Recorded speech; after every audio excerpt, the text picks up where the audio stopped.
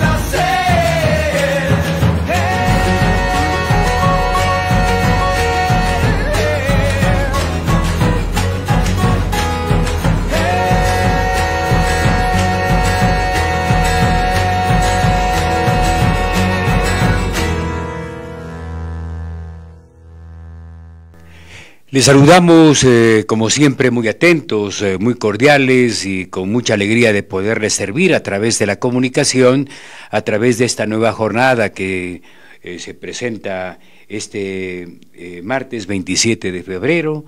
Se acaba el mes 2024. Nosotros vamos a desarrollar nuevamente pues, la, la jornada informativa que estará con todas las noticias y todos los temas más importantes que se han generado en el transcurso de las últimas horas. Nuestro saludo cordial a todos los amigos que se incorporan a esta señal, a los medios eh, que son eh, muy importantes para nosotros, a través de Radio Noticias Cuenca, a través de nuestra emisora en internet en www.radionoticiascuenca.com para quienes quieran escuchar el espacio no puedan verlo. El eh, saludo cordial a Lucho Vintimilla, que se enlaza igualmente a través de su importante plataforma Radio y Televisión Espectáculo, que también emite su señal a todo el planeta.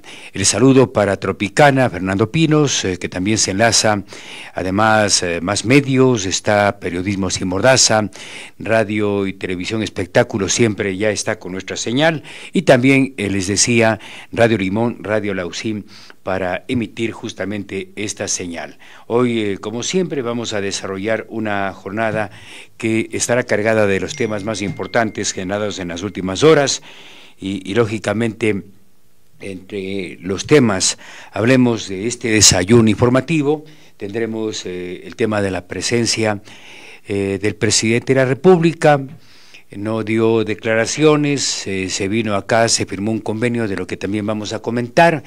Eh, también vamos a tener declaraciones de Andrés, Andrés Páez, ¿no? quien tiene su punto de vista sobre la necesidad de tener un código orgánico integral penal lo suficientemente contundente que no eh, genere en este caso beneficios a quienes cometen delito, eh, sino sea un código orgánico integral eh, penal que sancione a quienes cometen delitos de varias formas. Igualmente, eh, tenemos una variedad de temas que se han generado en los últimos temas. Vamos a comentar algo que evidentemente nos preocupa, eh, como que estamos, eh, yo veo una, una serie de propaganda en donde se emite mucho de toda la belleza, las bondades de la ciudad de Cuenca, creo que hay una realidad que, que hay que trabajarla desde el municipio, ¿no? desde la misma prefectura. Es decir, eh, hemos vendido una idea de que Cuenca es una ciudad casi perfecta y no es así, y no es así. Creo que hay varios temas que lamentablemente eh, no se los están enfocando, creo que más eh, sentimos los que vivimos en esta comarca, los que día a día estamos viendo los problemas en los que la ciudad de Cuenca se ve envuelta y que necesariamente tiene que ser motivo de una atención. En todo caso, saludamos en esta mañana a todos los amigos que nos acompañan. Comencemos con el tema Hoy son 192 días del crimen a Fernando Villavicencio, se espera que en las próximas horas, en los próximos días, se pueda hacer la instalación, en este caso de la audiencia preparatoria para la audiencia de formulación de cargos, en donde yo creo que hay una enorme expectativa. Hay gente que tiene temor de que esto de pronto se represe o vaya a pasar a segundo plano. Ojalá que no. En todo caso, 192 días de este crimen al eh, dirigente que incluso ahora, en medio de la desesperación de quienes eh, están sindicados, en quienes están apuntados como posibles infractores, esto se vaya a desarrollar. Vamos con este primer videíto, recordando a Fernando Villavicencio eh, parte de sus palabras. ¿no? Aquí estoy, doña Luisa González. A mí me han dicho que use el chaleco. Ustedes son Ustedes son mi chaleco antibalas. Que vengan los capos del narco. Se acabó el tiempo de la amenaza. Lo único que pueden hacer es matarme. Yo no le tengo miedo a la muerte. Nuestra venganza personal será contundente.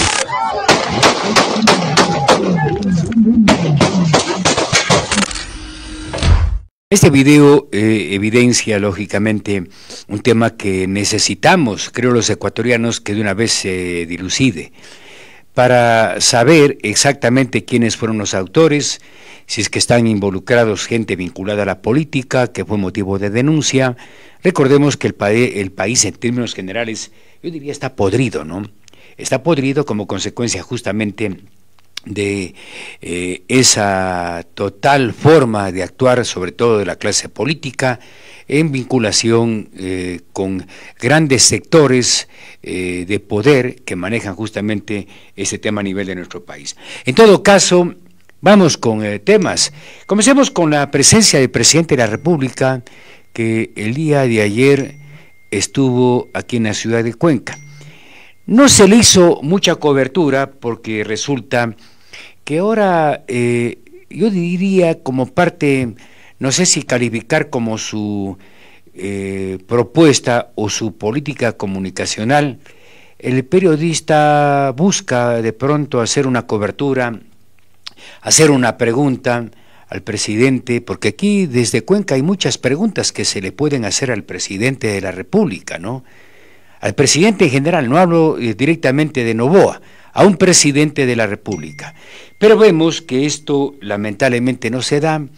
El presidente y su equipo de comunicación pone la agenda eh, y lo que se hace por lo general es eh, una presencia como la que hizo ayer el señor Novoa, que vino ayer, no sé si a darse una vuelta de popularidad, ¿no? Porque yo creo que desde Cuenca tenemos mucho para preguntar al presidente. En el tema vial, yo sé que no se puede resolver, un tema que ya tiene historia, el eh, descuido y la falta de atención vial para la provincia de la SUAY, yo sigo insistiendo, hay que pensar en un nuevo modelo de gestión vial, no solamente para la SUAY, sino para todo el territorio ecuatoriano, ¿no? No hay el dinero, las vías se someten fácilmente a un deterioro, ¿no? Consecuentemente, parecería que es importante que pensemos en algo más allá de esperar las dádivas o que el Estado nos atienda. Entonces, como hay varios temas que le incluyen al presidente de la República, el tema, por ejemplo, de las hidroeléctricas es un tema importante, y, bueno, eh, el presidente ayer hizo su acto de presencia, estuvo en el portal artesanal que se utilizó ayer para este evento, consecuentemente eh, se firmó un convenio de lo que vamos a comentar qué tan importante es, ¿no? Se habla de más o menos 24 millones de dólares que yo personalmente, de entrada, los hubiese destinado a un arreglo vial para la provincia de la Suay. Este es para movilidad, eh, se trata, yo diría, que perdóneme, de una manera necia de implementar el tema de la bicicleta como una alternativa de movilidad. Yo creo que eso no funciona en Cuenca, con todo el respeto. Estamos con un montón de ciclovías, estamos con un eh, montón de, eh, de, este, de, inversión en este. Hay una ciclovía que hizo el exalcalde Palacios, que por allí aterrizan las moscas, y los fines de semana uno que otro se pasea por las ciclovías, porque esa es la verdad. Es cuestión simplemente de monitorear. Hace tiempos eh, hablábamos de las ciclovías, una que va a la cárcel de Turi. Está más llena de lodo que sirva para algo, más dinero botado. Y por todo lado, por donde ciclovías se han convertido en parqueadero. Aquí en Aloja, la señora y los que venden las humitas y los tamales tienen en las ciclovías espacio para estacionar. Uno que otro ciclista la utiliza. Señores, entendamos que la bicicleta es más para sitios planos. Por ejemplo, Quito tiene una, una parte muy amplia donde se utiliza la bicicleta, pero tampoco es masiva la utilización.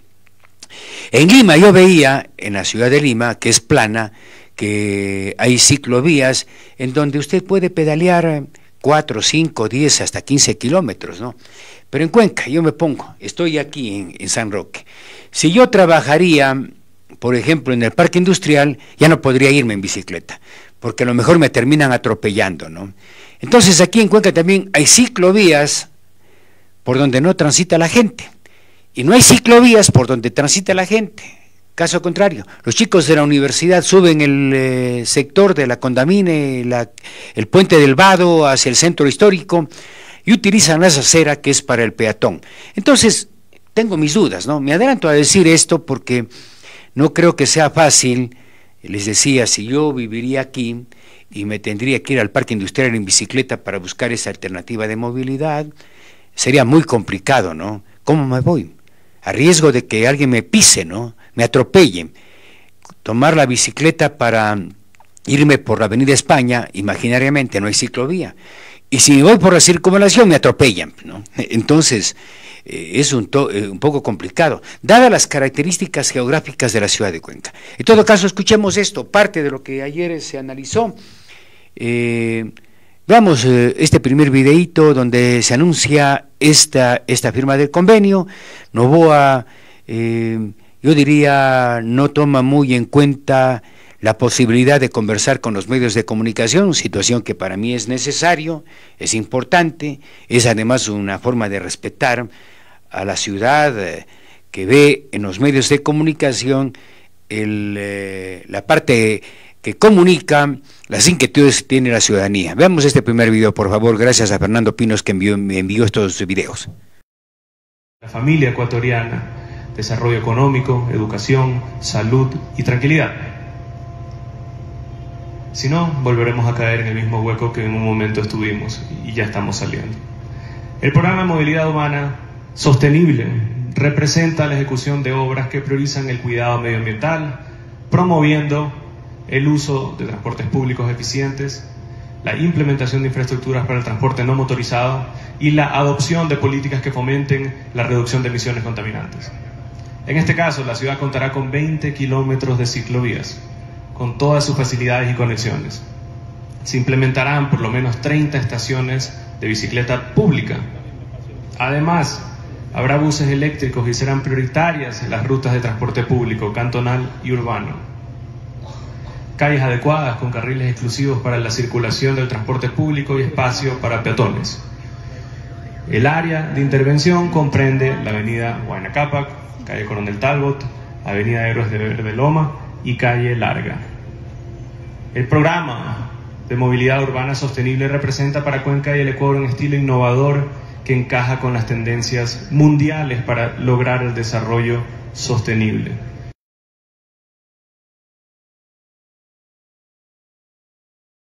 El presidente está hablando un poco de memoria, ¿no? No conoce Cuenca, ¿no? Perdóneme, y, que hagamos críticas, yo diría, en función no a, temas personales. A mí personalmente hasta me, me agrada muchas cosas que está haciendo Daniel Novoa. Pero me parece que Hablar de 20 kilómetros de ciclovías no funciona, señor Novoa. El alcalde igualmente el alcalde Zamora tampoco sabe que eso funciona. Las, bicicletas públicas están ya eh, hasta sin eh, color, ¿no? Como consecuencia de que pasan allí, casi nadie usa, ¿no? Es decir, hablamos a partir de que sí nos paseamos por Cuenca, sí conocemos Cuenca, sí transitamos por Cuenca.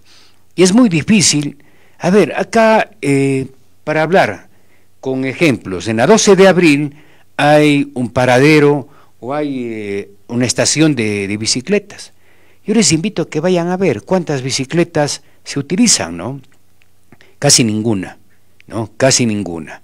Es que, a ver, si yo cojo una bicicleta de ese sector y por eh, me quiero ir a Turi, no puedo, no puedo, ¿no? Ya me quedo hasta los tres puentes, ¿no? Hablo exactamente en función a una geografía que tiene la ciudad de Cuenca, que es, eh, ¿cómo sería? De mesetas, ¿no? De plataformas. Es decir, tenemos una, esta parte donde estamos nosotros, en el sector de San Roque, en Avenida Loja. Usted sube al centro histórico, van dos. Sube, eh, mencionó el eh, presidente Héroes de Bertonoman, va tres. Si me quiero ir a Miraflores o me quiero ir a Cebollar, tengo que cargar la bicicleta. Pues, no, no, no, no puedo, porque es imposible. Tendría que tener las piernas eh, de Mario Pons, ¿no? En su momento, ¿no? O de un ciclista que carambas, digamos que alguien va a trabajar en el mall del Cebollar, ¿no? ¿Cómo se llama bicicleta? ¿No? Con el riesgo de, de que la atropellen y si es que realmente es un buen ciclista, miren la trepada que es, ¿no? Va a llegar sudando al trabajo, ¿no? Eh, entonces, eh, yo creo que la idea puede ser buena, pero no funciona. Otro temita, señor presidente, ¿no? Yo no sé quién le ha convencido de que esa es una propuesta buena. ¿No? No sé si el alcalde Zamora, algún concejal, Pedro Palacio, yo no sé quién le, le, metió esto en la cabeza, porque yo reitero, ese dinerito yo hubiese utilizado para mejorar el tema vial. hay un tema muy grave en Cuenca, que no soluciona el municipio ni LEMOV, es el tema de la movilidad. Tenemos una ciudad sobrecargada de vehículos. ¿Quién se atreve? Yo tengo una bicicleta y no me atrevo, ¿no? No me atrevo porque evidentemente uno está actuando en riesgo. ¿no? Aquí la gente conduce extremadamente mal en la ciudad de Cuenca. Y hay casos, ¿no? Eh, miren ustedes que John Garrin murió atropellado, uno de los créditos panamericanos del ciclismo. ¿no? Ya son más de dos años de la muerte de John Garrin, que eh, fue campeón panamericano, campeón nacional, campeón bolivariano, y haciendo uso ya retirado de su bicicleta, le atropellaron, ¿no? Y así podemos mencionar a un montón de gente. Hay muy poca gente que hace ciclismo de montaña, que es otra cosa. Pero yo creo que, perdóneme, se está cometiendo un error. La ciclovía de la 24 de la primero de mayo no funciona, no funciona, nadie utiliza, muy poca gente el fin de semana eh, se da el trabajo de ir a utilizar esta ciclovía. Vayan y vean. Señores concejales, yo les invito a que se den una vuelta y que se sienten una media horita y que cuenten cuántas bicicletas pasan. No es una herramienta, señor presidente de la República, complementaria o una alternativa de movilidad, ¿no? Aquí necesitamos un buen sistema de transporte público, ¿no? Para dejar el carrito en la casa, ¿no? Allí hay que generar ya un nuevo sistema de movilidad que no se está haciendo Consecuentemente, yo creo que es un error. Ese dinero hubiese servido para otro tipo de actividades, para mejorar el tema vial. Ahí estaba el prefecto también en esta reunión. Vemos ahí otro videíto, ¿no? En donde, entiendo, se anuncia este acuerdo, este aporte económico.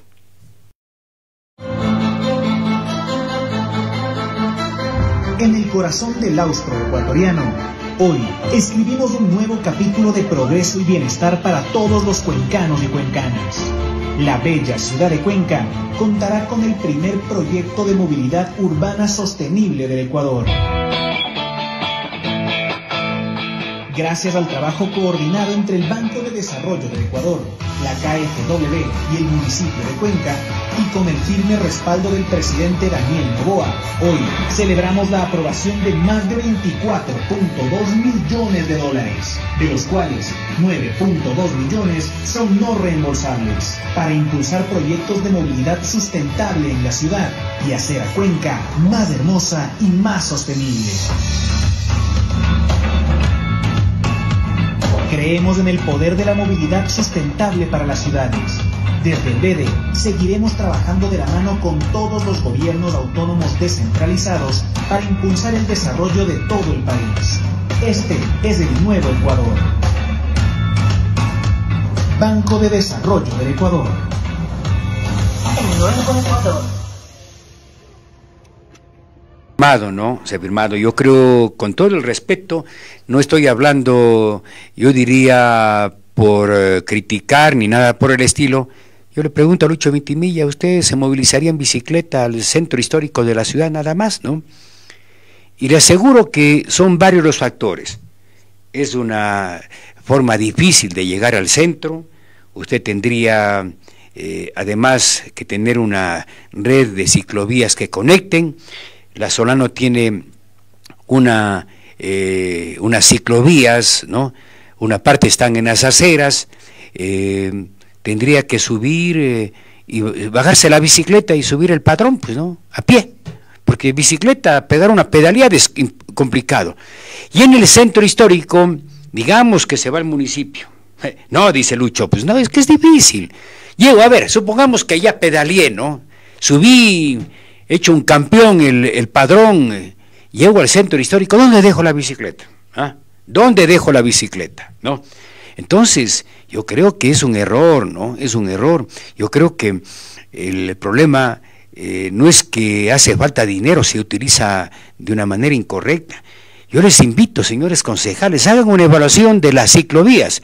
Hay una ciclovía en la 12 de octubre que se va al Mol del Río. Vayan a ver qué es. Es parqueadero, es parqueadero. No, es, no sirve. Y, si pasa un ciclista de Ripley, tengan la completa seguridad que tiene que eh, hacerse a un costado, salir a la vía, porque generalmente las ciclovías son estacionamientos. Hoy voy a tomar fotos, hoy voy a tomar fotos. Y habla también de una movilidad sustentable. No desperdicien el dinero, por Dios, ¿no? Yo creo que esos 24.2 millones de dólares le hubiesen servido al alcalde para recuperar parte de la vialidad del mismo centro histórico que está en muchos sectores despedazados, o el plan de aceras, veredas, que también, ya vamos a mostrar un poco de, los problemas que tiene Cuenca, porque estamos dando una imagen de que Cuenca es la maravilla, que es la séptima maravilla, y no es así. Nuestra ciudad es bella, nadie quita eso, es una ciudad bella, con los ríos, con el barranco, con un bello centro histórico, con el esfuerzo de mucha gente, pero es una ciudad que está con problemas que no están siendo resueltos. Yo no sé, ¿no? Para mí van a votar plata. Ya el, la ciclovía de la primero de mayo costó, si no estoy mal, cerca de 12 millones de dólares. 12 millones votados, porque ese dinerito como decían varios expertos y arquitectos, hubiese servido para otras cosas, ¿no? Yo creo que hay una múltiple cantidad de necesidades a nivel de la ciudad de Cuenca y la verdad es que pensemos en, temas importantes, ¿no? Arreglar los parques, ¿no? Carambas, eh, hay varios temas, hacer otros parques, ¿no? Ampliar el espacio verde de la ciudad de Cuenca, por ejemplo, bien dice Lucho, ¿no? Entonces hay muchas cosas que, que se las podrían hacer. Yo tengo un mal pensamiento, tengan, ¿no? No, no voy a decir mi mal pensamiento, pero carambas, o es que, carambas, eh, no tenemos un comportamiento que vaya de la mano, también saludo a Hernán Toral que nos está acompañando. Bueno, el tema es de que este tipo de actividades que me llaman a mí la atención, porque yo con ese dinero a ver, más bien hubiese hecho un hospital, ¿no? Hubiese hecho el mercado mayorista alcalde, ¿no? Que tanto se necesita para descongestionar la zona roja y terrible, ¿no? El drama y la situación crítica que vive, por ejemplo, el sector del Arenal. Eso es un lugar inmundo, ¿no? Ese es un lugar eh, tétrico. Es un lugar en donde la, situación de salubridad es totalmente crítica, ¿no? Esto tal vez está bien para 100 años atrás, el sector del Arenal. Yo hubiese más bien dicho que venga ese crédito del Banco de Desarrollo para la nueva terminal terrestre, ¿no? para un nuevo hospital, para el eh, mercado mayorista, ¿no? para que se vaya descongestionando el sector del arenal. Pero si hacemos uso, porque para mí no funciona, yo he conversado con varios ciclistas, y conversen ustedes, ¿no? Conversen con ciclistas, no se encierren en su necedad, que no es bueno, ¿no? Las autoridades se cierran en su necedad y, no habrá pues algún concejal que diga esta boca es mía para decir, oiga, analicemos bien por qué ese dinerito no utilizamos para otras cosas. El centro histórico no funciona para el tema de movilidad porque está hablando de movilidad eh, urbana, dice, ¿no? Eh, eso es lo que está diciendo el presidente de la República. Él no conoce la ciudad de Cuenca. Y miren ustedes la, eh, la EMOP no ha sido capaz ni siquiera de tener un plan para descongestionar el centro histórico y propiciar, en este caso, que las cosas vayan cambiando, tengamos un centro histórico no congestionado, con tantos problemas, ni siquiera han sido capaces de cambiar eh, un poco el tema del parqueadero tarifado, que tiene el mismo precio desde hace 24 años. Entonces, eh, yo creo que hay cosas importantes. En todo caso, hay unas fotos por allí, ¿no? De quienes estuvieron presentes. Eh, miren, ahí están eh, eh, presentes, está el presidente de la República, está el alcalde, señor Zamora, aquí más le veo, al del Banco de Desarrollo, las damitas, no sé quiénes serán, sigan nomás otras fotos, colocando, en donde, ahí, está Chungo, ¿no? Chungues, ¿no? Adrián Castro está con, ¿con quién está? Es la concejal ¿Quién más le veo por allí? Está el gobernador eh, eh, Benítez, está el prefecto, ¿no? Y el ministro Juan Carlos está, Juan Carlos Vega, ¿no? Están también, a, es decir, eh, pongo nomás otras fotos, ¿no? Son algunas fotos, saludamos también a, con mucho gusto a Jorge Vera, ¿no? Gracias, ¿no? A Jorge. Bueno, ahí está Chungo, o Adrián Castro, el otro es, señores, Diego, Diego Matovelle, que es el otro asambleísta, y el otro caballerito es el jefe político, ¿no? Y bueno, ahí está por atrás el señor Alvarado, que aparece en todos los gobiernos de turno, ¿no? ¿Acaso no hay más profesionales? Digo yo, qué manera de palanquearse que tienen algunos, ahí está, ¿eh? El señor perfecto, ¿no? Bien dicen, y bien que vaya, bien. Lo cortés no quita lo valiente, ¿no? Eh, yo creo que hay que desarrollarse, ¿no? Y, deseo que, que de cambie de actitud, ¿no? Cambie de actitud. Creo que hay que luchar por el y por Cuenca. Queremos propuestas para una red vial. Eh, pero eh, bueno, ahí está la señora Palencia, la ministra de, Gobierno, ahí está el concejal Valencia, está su yerno, la otra señora no sé quién sea, ¿no? Está la, concejal eh, Marisol Peñalosa, ¿no? Entre los presentes en este acto, hagamos nomás, ¿no? Que se generó justamente el día de ayer. Y es evidente que, esta reunión que se desarrolló el día de ayer eh, enlaza con lo siguiente. No sé si me ayuda, eh, Eddie, para eh, pasar más bien a los problemas, ¿no? Punto cuatro. Porque creo que esto enlaza con lo que estamos manifestando. Saludos a Laurita Andrade que nos está acompañando en esta mañana. Vamos con el primer bloque de fotos, ¿no? Estos son los problemas, alcalde, ¿no? Estos son los problemas, señores concejales. Miren el estado de las aceras de la ciudad de Cuenca, ¿no? Y queremos bicicletas, tema que para mí no es funcional, no es funcional. Si yo, aquí bien dice, ¿no? Si yo trabajaría, eh, digamos, eh, en, un sector eh, cercano al parque industrial, o trabajaría por el Cebollar o por Miraflores, ¿Cómo me voy en bicicleta? Pues no. Entonces es, es, un poco complicado. Dadas, repito, las características que tiene la ciudad de Cuenca. Cuenca tiene cuatro o cinco plataformas, ¿no? Es decir, en el proceso de expansión se sigue ampliando todo esto. Miren las aceras, ¿no? Vaya nomás rotando las aceras, ¿no? ¿No será necesario, señor alcalde, más bien pedir dinero y hacer igualmente, a través de contribución de mejoras o obras de interés general, arreglar esta situación por donde caminan los seres humanos, por donde caminan los niños, las personas adultas, personas de la tercera edad, personas con discapacidad. Miren el estado de las aceras, ¿no? Es un tema crítico. Para eso pidamos dinero al alcalde eh, PhD Cristian Zamora. Estoy diciendo de la manera más correcta. Miren el estado de las aceras. Esto es lamentable y esto es por todo lado a nivel de la ciudad de Cuenca. Necesitamos un plan de aceras, que es por donde camina la gente. Siga nomás cambiando de, miren las aceras como están, ¿no? Es eh, un estado, yo diría, calamitoso por todo Cuenca.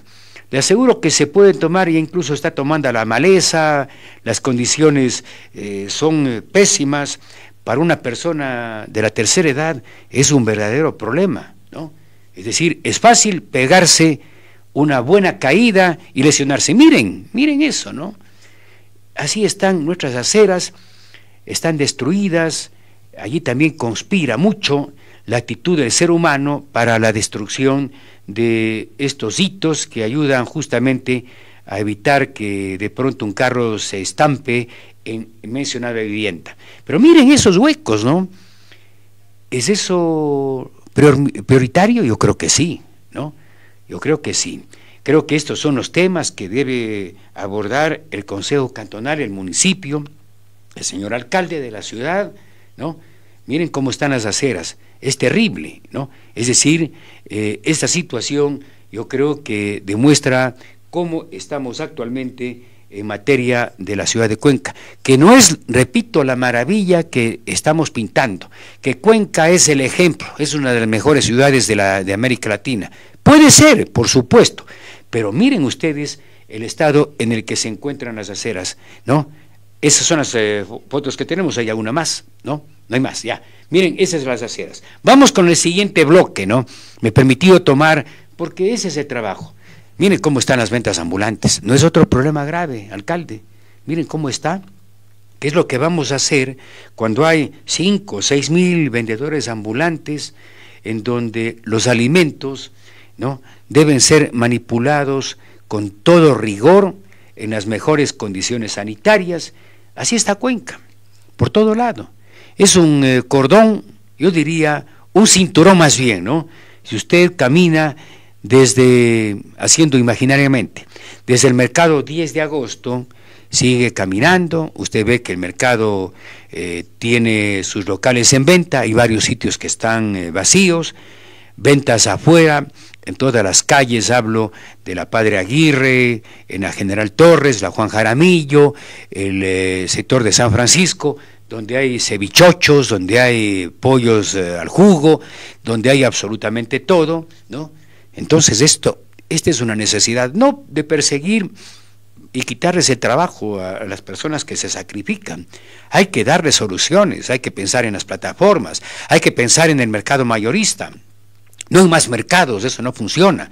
Sino, miren ustedes cómo está nuestra querida ciudad.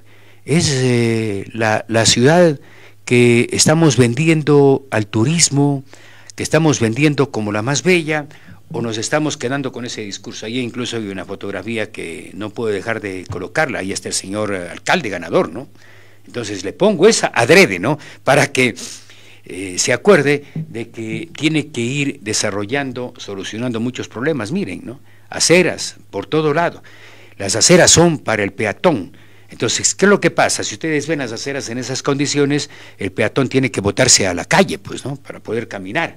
Miren, e, es decir, este es un horror. Esa es la ciudad de Cuenca. Esa es la ciudad, eh, ejemplo, en, el, en América Latina y en el Ecuador. Yo creo que no. Yo creo que no. Exigimos más.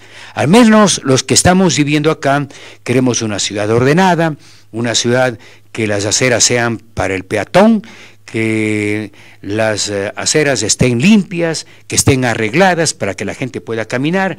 Las aceras no son para los ciclistas, los, eh, las ciclovías sí. Yo no sé cómo se... Ya, intentó Paul Granda, ¿no? El tema a propósito de las ciclovías en el centro histórico y fue un fracaso, ¿no? No funcionó. Ya desapareció eso, ¿no? Mire, ¿no? Tanques de gas. Es una barbaridad, es una bomba de tiempo, ¿no? Es decir, las Fuerzas Armadas debería alzarse con el tanque de gas porque es como dinamita, peor que dinamita eso, ¿no? Esto es por todo lado en nuestra... Eso es en San, eh, ese es en, el Parque de las Flores. Sigan viendo ustedes más, ¿no? Más. ¿Dónde es eso? Miren ustedes eh, cómo está nuestra querida ciudad de Cuenca. Esta es en la calle Larga, ¿no? Ustedes pueden ver, eh, esos son los temas que tienen que resolverse, ¿no? Es decir, dejemos de lado, hay, aquí también me dice Jorge Vera, el tema de los cuidadores de vehículos es otra situación que debería Darío eh, Ordóñez tratar de regularizar, ¿no? ¿Qué sé yo? Buscar un mecanismo para que, carambas, por lo menos la gente se inscriba. Porque aquí hay denuncias de que muchos de estos eh, cuidadores o franeleros son los que están haciendo de campanas, ¿no? De campanas para el robo de vehículos o el robo de accesorios. Miren cómo está, ¿no? Esto no puede ser. Eh, este tipo de, imágenes eh, son muy comunes a nivel de la ciudad de Cuenca, en donde te están vendiendo alimentos en condiciones eh, pésimas, en condiciones sanitarias. La señora está con una mascarilla y ¿de qué le sirve si se va a su casa y lleva productos contaminados? Porque esto se contamina. Pensemos, alcalde y concejales, que esto se contamina, ¿no? Si es que pasa un vehículo, deja el smog los residuos del consumo de combustible, de los neumáticos. Entonces, estamos hablando a partir de las experiencias. Es decir, el espacio que nosotros estamos haciendo y las críticas se encaminan a que mejoremos la calidad de vida de Cuenca, la calidad de vida de los azuayos, que nos enfermemos menos, que tengamos políticas de prevención, ¿no? Entonces, miren ustedes eh, cómo se manipulan los alimentos. Estos son los temas a solucionar, señor alcalde Cristian Zamora, ¿no? Estamos hablando a partir del respeto, de la consideración. Yo sé, es evidente que estas son eh, experiencias o son herencias que evidentemente eh, se han generado o se han determinado por parte de las administraciones anteriores. Cierto, eh, el COVID y la pandemia dejó en gran parte este tipo de negocios en las calles de la ciudad de Cuenca, ¿no? le saludo al arquitecto eh, Merchán, eh, le saludo también a Jaime Álvarez. Eh, dice Clever, no pueden legalizar a los franeleros, ellos están en zonas tarifadas de parqueaderos. ¿Qué es lo que vale? Basta, es un cuento y nada más, ¿no? Yo decía en la medida del cuidado, ¿no? el tema es de que el parqueo tarifado tampoco está funcionando, ¿no? No funciona ya desde hace mucho tiempo atrás, ¿no? Y decía en el sentido de, que a ver, yo no veo mal desde mi punto de vista que tengamos alguien eh, que esté cuidando un poco la cuadra, ¿no? ¿No? Eh, que los vecinos eh, le paguen algo para que ayude a cuidar en medio de una situación en donde hay vacunadores, en donde hay ladronzuelos que se quieren robar el dinero, ¿no? Así es que ese dinero, ¿no? A ver, totalmente de acuerdo, habíamos comentado el, el, tema del presidente de la República, yo creo que ese dinero es un desperdicio, aquí no funciona la bicicleta, así eso es todo. Si no, pregunten a Mario Pons, ¿no? Pregunten a alguien que sepa, pregunten a los que utilizan y a los que manejan y utilizan mucho la bicicleta, ¿no? Lo hacen muchos eh, por entusiasmo, pero es muy complicado, ¿no? Y la verdad es que esta situación... Eh, también tiene que ser motivo de un arreglo. ¿Qué se puede hacer? Porque Cuenca está en medio, lógicamente, de muchas personas que necesitan tener algún tipo de ingreso, están eh, haciendo el papel de franeleros o, cuidadores de ciertas zonas de vehículos y, lógicamente, en su gran mayoría son gente venezolana. Ya, ya, terminamos esto de, miren, pero esto de las ventas ambulantes, en Cuenca le venden desde salchipapas, le venden eh, ceviche en balde, le venden frutas, le venden maletas, le venden corbatas, le venden de todo un poco en, el centro histórico de la ciudad de Cuenca. Entonces, eso de alguna manera tiene definitivamente que cambiar, ¿no? Y la verdad es que tenemos, ¿no? No, tenemos, señores, que eh, en medio de todo esto, ser exigentes con las autoridades. Miren esa imagen, es terrible que hay un tanque de gas, ¿no? En medio, eh, a ver, esto es eh, en el sector del mercado 9 de octubre, que está, no, es en el Parque de la Madre, ¿no? En el Parque de las Flores, perdón, Parque de las Flores, donde hay una gran cantidad de gente que evidentemente está en riesgo, ¿no? Un tanque de gas equivale a una, eh, en este caso, a dinamita, pues, ¿no? Si eso explosiona, carambas, despedaza medio parque de las flores, vayamos entendiendo, eso no puede ser, ¿no? El señor que tiene negocio de los chifles, entiendo que trabaja, lo hace para ganarse sustento, pero tenemos que poner orden y quienes deben trabajar por eso son los vagos de los concejales, ¿no? Porque yo no les veo que hacen absolutamente nada en beneficio de la ciudad de Cuenca. Utilizo este calificativo porque esa es la verdad. Esa es la verdad, ¿no? El, tema es que los señores están ganando un sueldo para trabajar por Cuenca. 2.780 creo que es el sueldo que gana un concejal. Más carro a la puerta, más eh, dos asistentes, más pasajes cuando tengan que viajar. Entiendo que también el municipio les paga el chofer, les paga la gasolina, les paga los neumáticos. Por Dios, hagan algo para ir poniendo en orden a la ciudad de Cuenca. Vamos con el siguiente segmento de fotos. Ya que vino el presidente, eh, firmaron un acuerdo de 24.2 millones para movilidad sustentable, ¿no? Miren, miren las siguientes imágenes. Esto es peor, ¿no? Señores concejales, hagan por lo menos una ordenanza para el tema de regular el uso de los postes que son de la ciudad de Cuenca, que son, en este caso, de la empresa eléctrica, que son del dinero de los cuencanos y que son motivo del abuso de las empresas que entregan servicio de Internet. Pero miren ustedes ese, ese cableado, ¿no? y los postes ya mismo se caen de semejante peso. Aquí en Cuenca hay no menos de 20 operadoras de, telefonía, de, de Internet y todas utilizan los postes, ¿no? Y miren eso que estamos viendo. Yo le sugería a un concejal, pero no me paró bola, que haga una ordenanza, pues, ¿no? Para que les cobre por lo menos y para que se ponga orden y para que se vaya pensando desde el municipio, miren esas fotos, ¿no? Para que es por todo Cuenca, ¿no? yo me he permitido tomar, yo tomé las fotos, ¿no? Me he permitido tomar de algunos sitios, eh, por cualquier parte de la ciudad de Cuenca usted encuentra eso, ¿no? Frente a sus narices, frente a su casa, encuentra ese, ese cableado, esos tallarines, ¿no?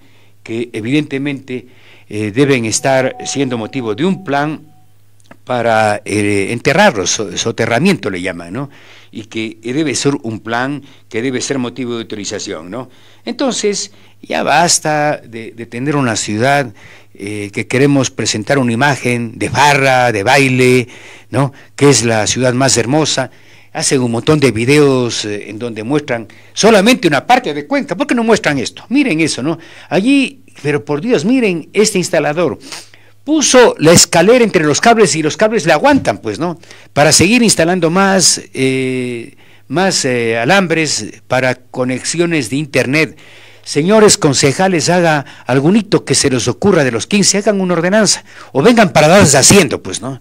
Es cuestión de dos hojas para que esto tenga un ordenamiento, para que esto además signifique la necesidad de tener una ordenanza para que incluso eso se llama uso del espacio público y las empresas de Internet no están pagando un solo centavo, están haciéndolo gratis, ¿no? Están haciéndolo gratis, ¿no?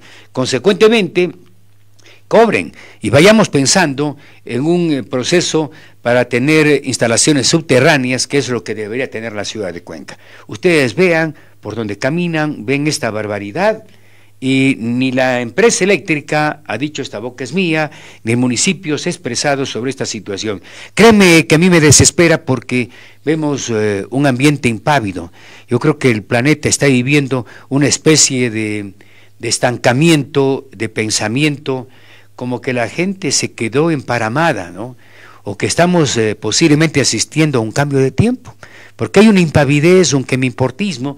Esto la gente importa un Pues miren ese, miren ese cruce de cables, ¿no? Esta creo que es por Rapío Bravo, si no estoy mal. Miren ustedes lo, que se ve. Es eh, realmente una, una, un cableado que se sigue acumulando además día a día. Alguien pide internet, se sigue colocando y esto sigue creciendo. Así es que también esta es una tarea de los señores, este es en la Vega Muñoz, bueno, eh, eh, vean señores del municipio qué es lo que hacen, adopten algún tipo de comportamiento para que esto no siga funcionando. Tenemos alguna foto más, pónganle más, ¿no? Miren ustedes, porque es, pero miren ah, cómo está allí el instalador. Se pierde entre la, entre la cantidad de cables, ¿no? El señor debe tener hasta miedo, cualquier rato toca un eh, alambre con electricidad y chau, pues, ¿no? Entonces, allí vean ustedes, ¿no?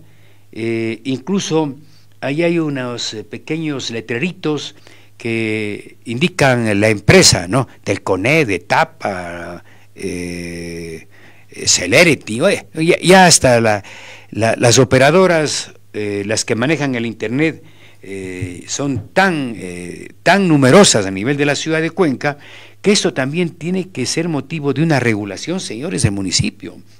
Es decir, se han quedado los últimos consejos cantonales. Ni Pedro Palacios pudo hacer absolutamente nada, pese a que se le sugería, ¿no? Ahora le veo Pedro peleando en contra del alcalde Cristian Zamora. ¿De qué le sirve? Está de pronto extrañando el sillón eh, edilicio, digo yo, porque el proceso de construcción es aportando algo en el tiempo, pues, ¿no? Y miren ustedes, pero miren ese, ese, ese cableado, ¿no? Casi le tapa la vivienda, la cantidad de cables que, se presentan, ¿no? Eh, ¿Quién, eh, a Clever Calle le saludo, quién tiene que responder por ese atropello al paisaje urbano de Cuenca? El municipio, pues, eh, Clever, Tocayo, el municipio es el que tiene que ver todo esto, pero allí están incluso, el mismo señor alcalde, él fue concejal dos periodos, él trabajó con Marcelo Cabrera, ahora es alcalde, preocúpese de este, pero miren eso, ¿no? Es decir, eh, me he permitido tomar estas fotos para que ustedes, eh, eh, porque a veces cuando uno critica aparecen, en este caso, los cepillos, ¿no? Los cepillos del alcalde y me insultan o insultan, ¿no? Entonces, le hacen de ver. Lo que queremos a través de este medio es que el señor alcalde abra los ojos, abra un poco más el criterio de que las cosas se tienen que hacer con el consenso, con el apoyo y los medios de comunicación, al menos en este caso, el que nosotros estamos laborando, responde a la preocupación que tenemos como ciudadanos, ¿no? A ver, eh, arquitecto Merchan dice, las empresas Internet, TV cable, eléctrica, hacen eh, un mal manejo, un mal cableado y luego todo cobran. No, no están cobrando, eh, arquitecto, ese es el problema, ¿no? Yo he preguntado, la empresa eléctrica se supone que es la que coloca los postes con el dinero de los cuencanos, ¿no? Y de allí no hay un eh, esquema que regularice. No tiene ni la empresa eléctrica y averiguado, no tiene una ordenanza que regule el uso. Es espacio público y el espacio público controla, regula y maneja el municipio de Cuenca. No hay nada. Entonces, los señores concejales, un hito no se le ocurre hacer una ordenanza para que esto tenga un manejo, ¿no? Y que les cobren las operadoras, porque no hay otra, ¿no? ¿No? Y la verdad es que esto está por todo lado, ¿no? Estamos hablando ya varias veces lo mismo, ¿cierto? Pero, repito, eh, eh, la, gente por lo general hacen eh, caso omiso a todas estas recomendaciones.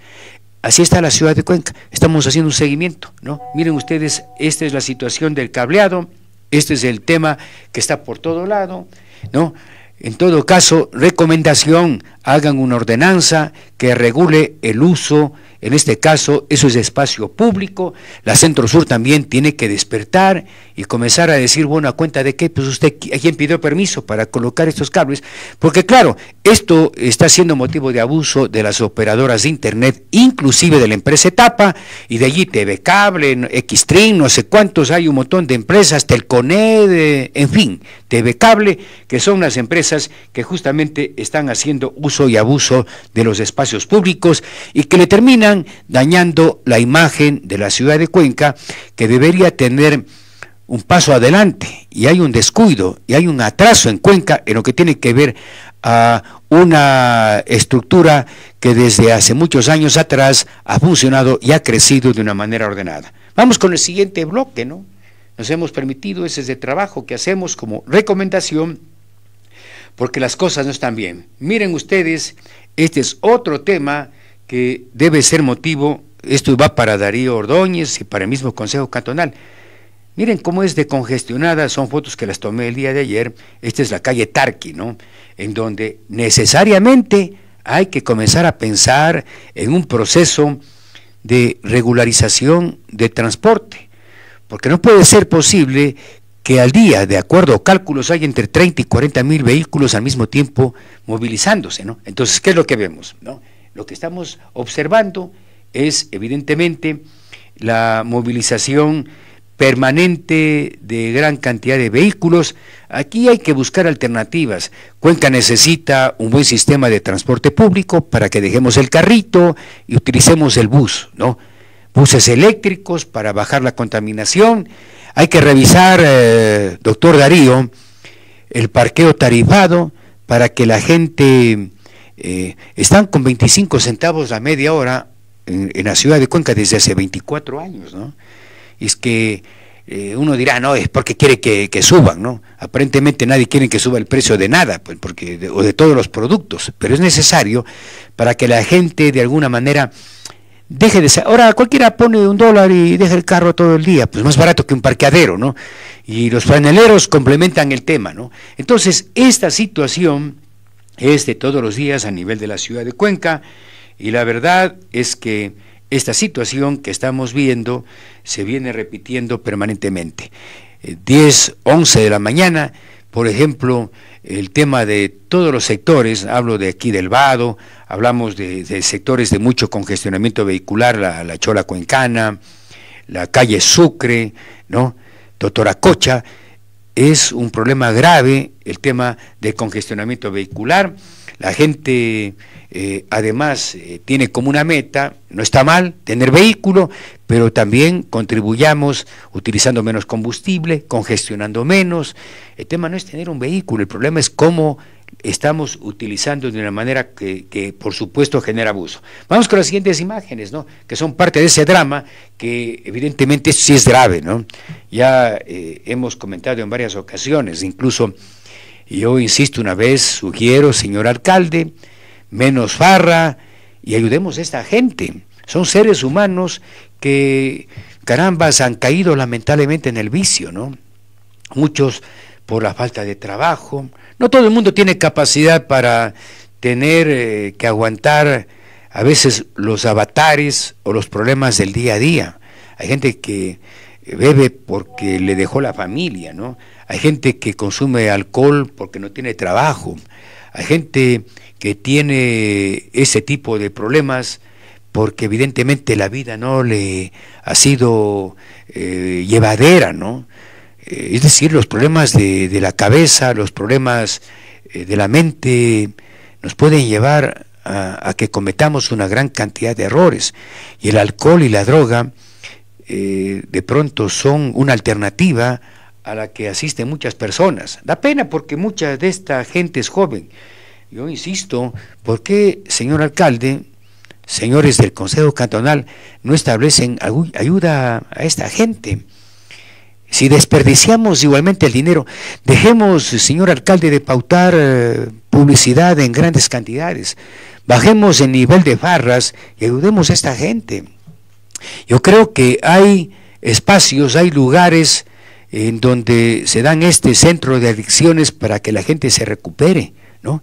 al menos van a estar, creo que son tres meses, eh, el encierro, en donde la gente trata de desintoxicarse, de limpiar su cuerpo, de tratar incluso de alimentarse de alguna manera, de recibir eh, carambas información, de ser objeto de, de algún estudio de capacitación para que esta gente se recupere, ¿no? Sé que cada tratamiento está entre los 2.500 a 3.000 dólares aproximadamente por persona. Si atendemos a 100 personas que están botadas en la calle, eh, eso cuesta entre 250 y 300 mil dólares. Creo que esa es una obra de caridad humana, ¿no? que debería ser el municipio. ¿no? Es decir, eh, a veces eh, los gastos en los que incurre el municipio no tienen ni pies ni cabeza. ¿no? Consecuentemente, me parece que es importante que estos temas eh, ya que viene este comentario el día de hoy, ayer se firmaron convenios por 24.2 millones para movilidad, ¿no? Yo insisto una vez más, eh, eh, regresando al comentario inicial, eh, es votar el dinero, ¿no? Pensar en movilidad a través de alternativas de la bicicleta sería ideal si es que Cuenca tendría otro tipo de características, pero no. La, la, bicicleta en medio de los caos que tenemos a nivel de la ciudad de Cuenca, en donde la gente incluso se estaciona en los parqueaderos, eh, en las aceras, en los parqueaderos o en las ciclovías, el abuso de, la bicicleta, el abuso del teléfono móvil, la gente eh, necesita ser educada, ¿no?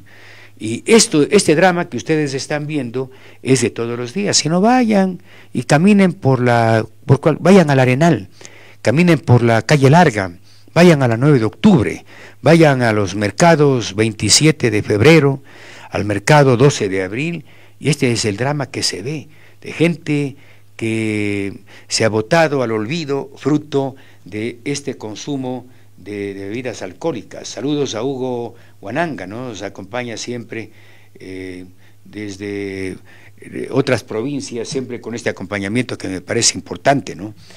Y créame que me duele que no, no se tome en consideración este tipo de situaciones que se están dando. Creo que esas son las tareas, ¿no? Creo que son las tareas y, la verdad, eh, la situación que se está dando, ah, también me dicen, a propósito de la empresa eléctrica, se han subido, ¿no? Ese es un tema a investigar. Los costos de las tarifas de energía eléctrica, por supuesto que han crecido y habrá que preguntar por qué se, han incrementado, ¿no? No creo que estemos consumiendo más energía eléctrica, ¿no?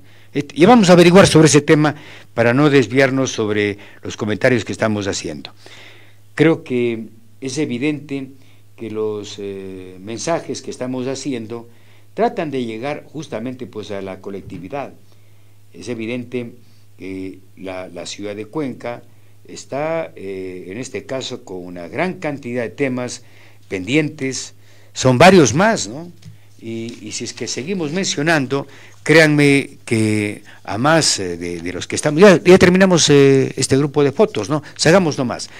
Creo que para pasar a otro tema, eh, me parece que es hora, señor alcalde, señores del Consejo Cantonal, hemos hecho esta reflexión con mucho respeto, con mucha altura.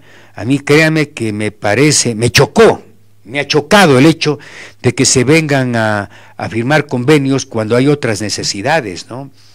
Creo que, en resumen, Cuenca necesita tener más atención. No nos engañemos. No pongamos a la ciudad de Cuenca como una ciudad modelo para el país, peor para América Latina, porque esa es la imagen. Sí, lindo es colocar con el dron, ver los videos que hacen con mucho talento los eh, diseñadores o quienes manejan el tema eh, de, imagen, ¿no? A través del video. Pero los problemas de Cuenca son de tráfico, ¿no? Veíamos el tema de las aceras, aceras rotas, el tema de la gran cantidad de cables, las ventas ambulantes, el tema de, de la presencia de muchas personas eh, dadas al olvido, alcohólicos y drogadictos que están por todo lado, ¿no? El tema de la basura, en donde tampoco la ciudadanía contribuye. María Caridad Vázquez, Mayita, ¿no? Como le llamamos, ¿no? Eh, pongamos un poco más de entusiasmo.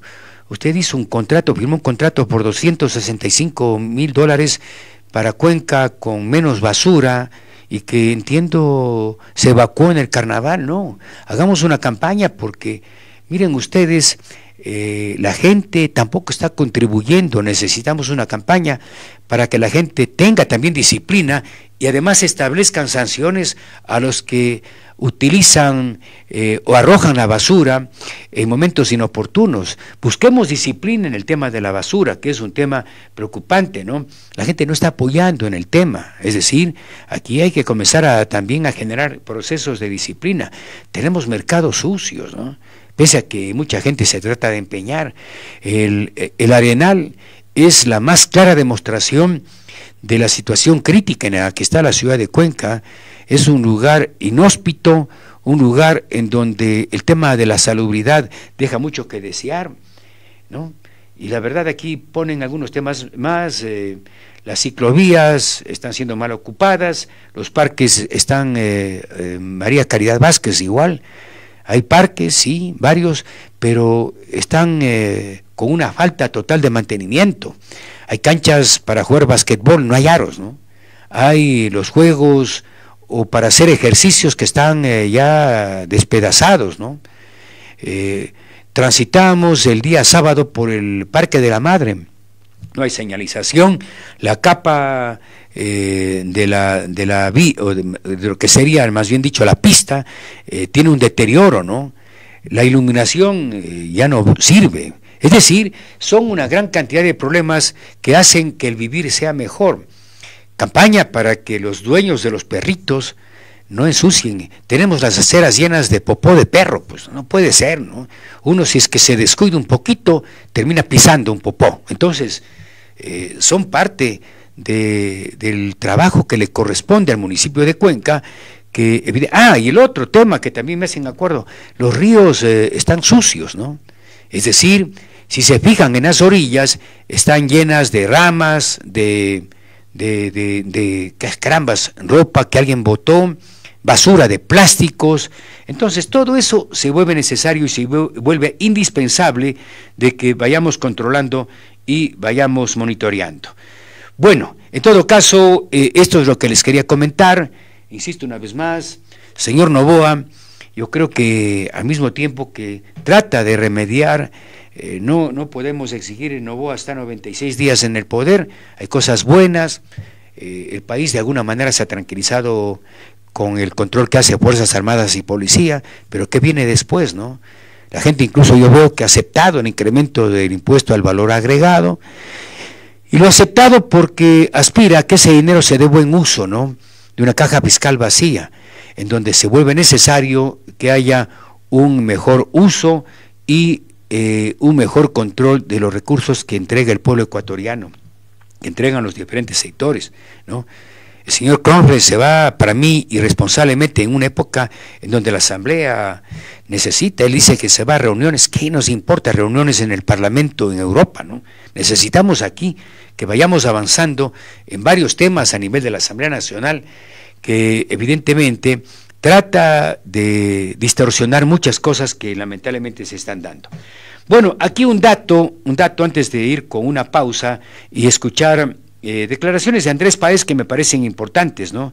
Andrés Páez eh, es un activista que me parece importante, que me parece interesante, pero, eh, a ver, me preguntan sobre Bolívar Sarmiento, ¿no?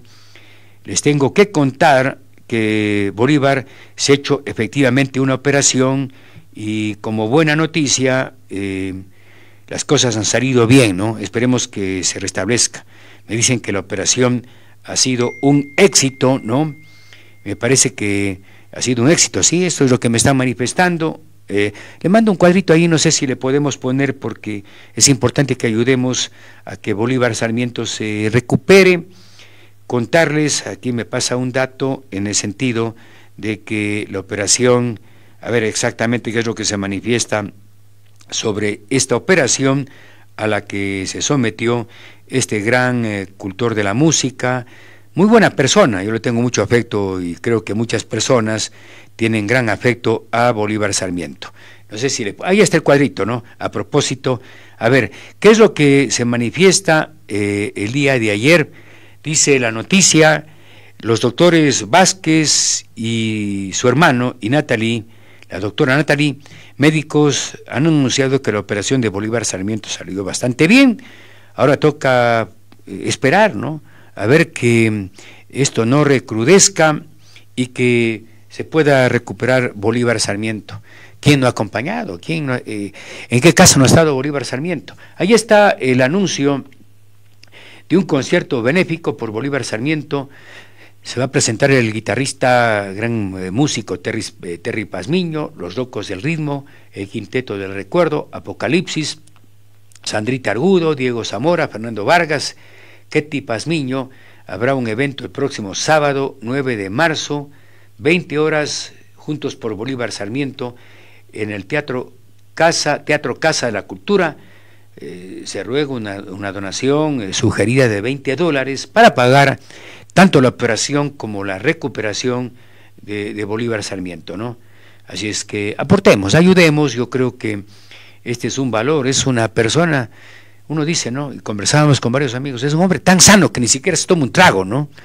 Sano, no fuma, lo que hace es tocar la música y hacerlo con muchísimo talento. Así es que vamos por la recuperación de Bolívar Sarmiento y vamos con una pequeña pausa y vamos con Andrés Páez luego de esta pausa.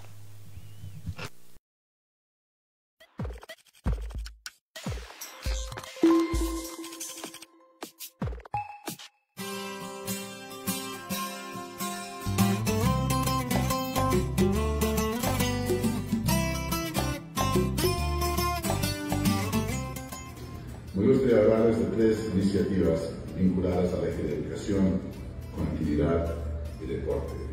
Mi nombre es Abigail y hace poco tiempo recibí con gran felicidad la noticia de que fui seleccionada para recibir una beca otorgada por la compañía Moody's de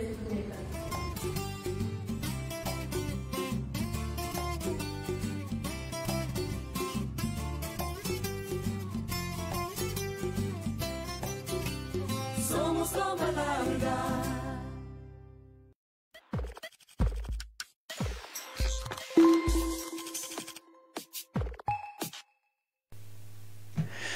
Bueno, hay, hay varios temas de interés que, la gente nos pide que comentemos, pero me voy a, permitir investigar tema uno. ¿Por qué hay un incremento eh, general? Yo, yo escucho a casi todas las personas del costo de la energía eléctrica, ¿no? No hay razón, porque tampoco es que a la empresa eléctrica se le puede ocurrir subir porque le da la gana, ¿no? Eso responde igualmente pues una evaluación y además a un anuncio público. Pero eh, varias personas, y a varias personas me incluyo, sí nos ha subido el costo de la tarifa de energía eléctrica, ¿no? Habrá que ver cuál es la, razón de este incremento. Y lo otro, que evidentemente igualmente es necesario que eh, también nos informen, vamos ya a sentir desde este mes el incremento del costo de agua potable, ¿no? que es de la empresa Etapa y que va a tener evidentemente un incremento que igualmente estaremos comentando. Todavía no puedo comentar porque todavía eh, no se han emitido las facturas de este incremento. Lo que sí me he quedado preocupado, me dijo un técnico de la empresa Etapa, que me dijo no mencione su nombre porque la gente actúa con miedo, ¿no? Me ha dicho que el nivel de, control de agua en etapa es pésimo, ¿no? Es decir, será cierto que las pérdidas alcanzan a un 48% y que este incremento, a ver, yo creo que todo sube, ¿no? Todo sube, es evidente, pero lo que tiene como obligación la empresa etapa es igualmente causar el menor eh, malestar y no cargarle todo al ciudadano, ¿no? Al que paga el servicio de agua, ¿no?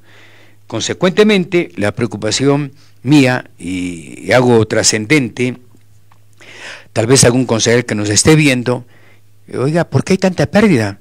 Están hablando que hay un 48% de pérdidas. ¿Qué significa? Que hay fugas de agua, que hay tubería que ya está colapsada y que por ahí está fugando el agua, que hay también en diferentes hogares y casas eh, el sistema de las domiciliarias que tampoco están funcionando bien, consecuentemente eso hay que revisar, ¿no? Entonces no hay que cargarle esas pérdidas, sino hay que ser eh, óptimos y que la empresa y sus técnicos se preocupen de reducir las pérdidas, porque lo que se está haciendo es cargar a la ciudadanía el costo del servicio de agua potable. Y allí yo creo que es razonable que cada cierto tiempo, si es que suben los químicos, los insumos que se utilizan para la producción de agua potable, por supuesto que esto tiene que incrementar. Bueno, Andrés Páez, vamos con Andrés Páez. Andrés Páez eh, es eh, un hombre evidentemente que ha participado de la política y que ahora tiene un papel eh, de activista, ¿no?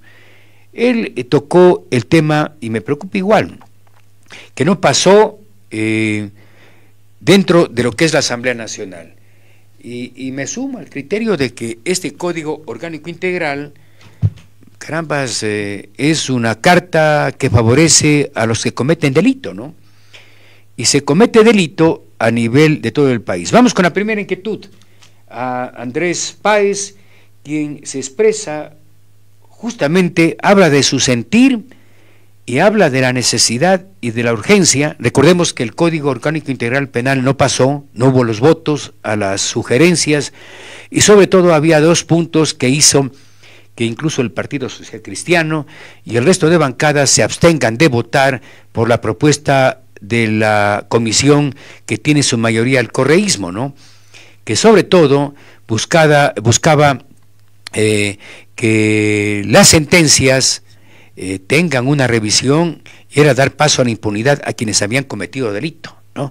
Eso es, en otras palabras, decir, delincuentes, ustedes están libres, ¿no? Y de alguna manera este Código Orgánico Integral Penal refleja eso.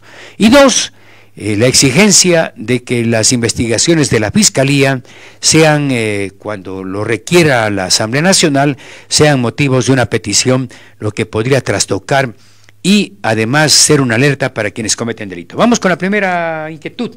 Esto es lo que dice Andrés Páez con respecto justamente a una panorámica del Código Orgánico Integral Penal. Del correísmo de lanzar un paquete de reformas penales y claro, de contrabando meter unas normas que favorezcan al capo de la mafiosa secta que busca su impunidad para, según él, volver al país. Sobre esto yo quiero hacer algunas reflexiones. La primera, son expertos en trampas. Siempre dije eso del corcho cordero, que es el que acuñó la mayor cantidad de trampas que pueda recordar la historia del Parlamento ecuatoriano. Y resulta de que esa actitud tramposa la hemos tenido que soportar ya más de 16 años. Creo que el país no merece una actitud tramposa. En segundo lugar, ¿qué les pasa? ¿Qué les pasa a esos asambleístas que no son del correísmo y que firman un informe que pasa a conocimiento del Pleno?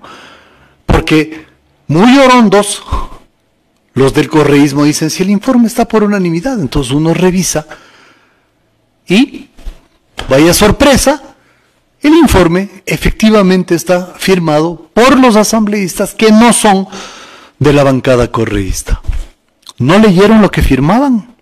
Dicen que después han metido un artículo.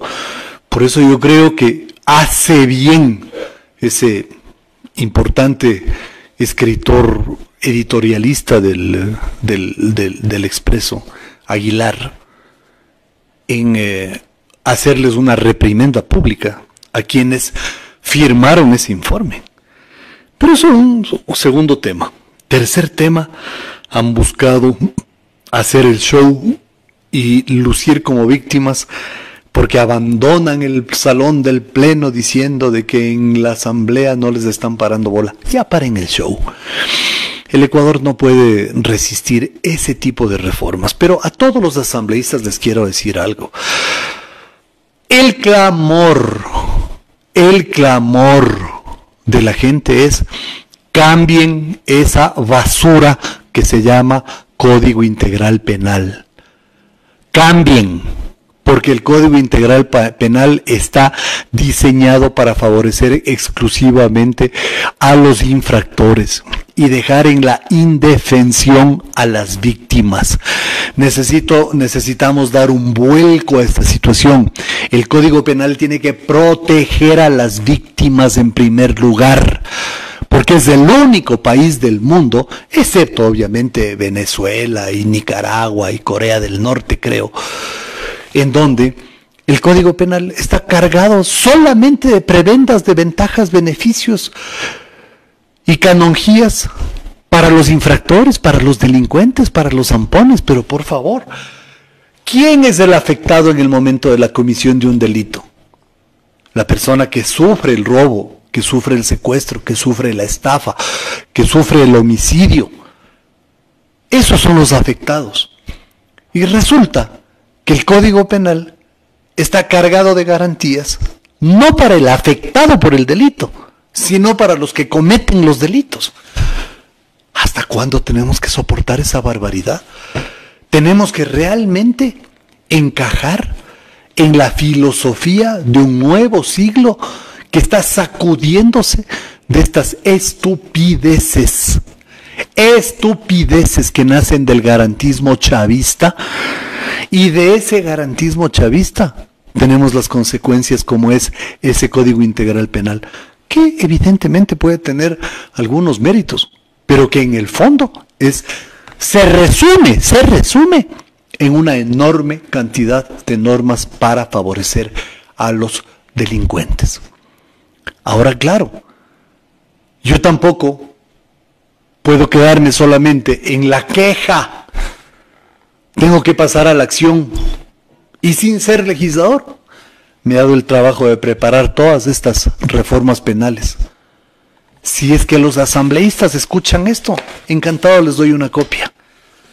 Si es que no, supongo yo que tendrán otras prioridades. No me interesa. Yo quiero que ustedes, los ciudadanos comunes, los ciudadanos de a pie, que son los que sufren las consecuencias de la criminalidad, de la violencia, de los zampones, yo quiero que ustedes conozcan mi propuesta de reformas al Código Penal. Porque es con ustedes, con los ciudadanos, con quienes salimos a las calles y, derrotamos en las calles a una dictadura. Es con ustedes con quienes podemos empujar estas propuestas de reforma al Código Penal. ¿Saben por qué? Porque si nos decidimos y le sitiamos a la Asamblea 100, 200 mil, 300 mil personas y les exigimos que cambien el Código Penal, ya van a ver cómo cambia el curso de la historia de este país. Eh, eh, Andrés Páez eh, se refiere en términos generales a, a, una crítica al Código Orgánico Integral Penal, que efectivamente, totalmente de acuerdo, está hecha justamente para delinquir, para favorecer a políticos corruptos, a intermediarios y a gente que justamente está en el entorno del Estado ecuatoriano, en donde se manejan recursos económicos justamente para delinquir. ¿no? Consecuentemente, este Código Orgánico Integral Penal no está hecho a la medida de sancionar sin medir ni condición económica, ni condición social, ni condición política, sino que está hecha supuestamente o debe ser para sancionar a quienes delincan, a quienes cometan un delito. Y la verdad es que totalmente de acuerdo con Andrés Páez, ¿no? el tema está eh, generando esta eh, situación que ha motivado, por eso es que hay un montón de prófugos, ¿no? Por eso es que han abusado del habeas corpus, han abusado de las eh, sentencias o sanciones eh, que, son eh, complementarias o las sentencias que determinan medidas sustitutivas. Esto no puede seguir funcionando así en el país. Necesitamos un código orgánico integral mucho más contundente, que no tenga esas prebendas que han permitido que tengamos cerca de 70 eh, prófugos de la justicia a nivel de nuestro país, u otros que tengan, caramba, es otra situación, la prisión domiciliaria, supuestamente porque una persona está enferma o porque ya cumplió los 65 años o es de la tercera edad. Eso no puede ser, es decir, hay que librar. Veía un dato, hay cerca de 350 personas que están con prisión domiciliaria. Eso no puede ser, pues, ¿no? El que delinquió tiene que irse a la cárcel, ¿no? Sea hombre, mujer, eh, sea joven, sea mayor de edad. Pero esto ya tiene que cambiar a nivel de nuestro país y esto ha permitido de que se cometan tantos errores por parte de los jueces y eh, fiscales que han cometido actos de corrupción. Sobre el tema que se relaciona a las propuestas, ¿qué dice Andrés Páez? En materia. A ver, propuestas de reforma al Código Penal. En el primer inciso del artículo 55 del COIP, agréguese un texto relacionado a la acumulación de penas. Miren lo que yo propongo.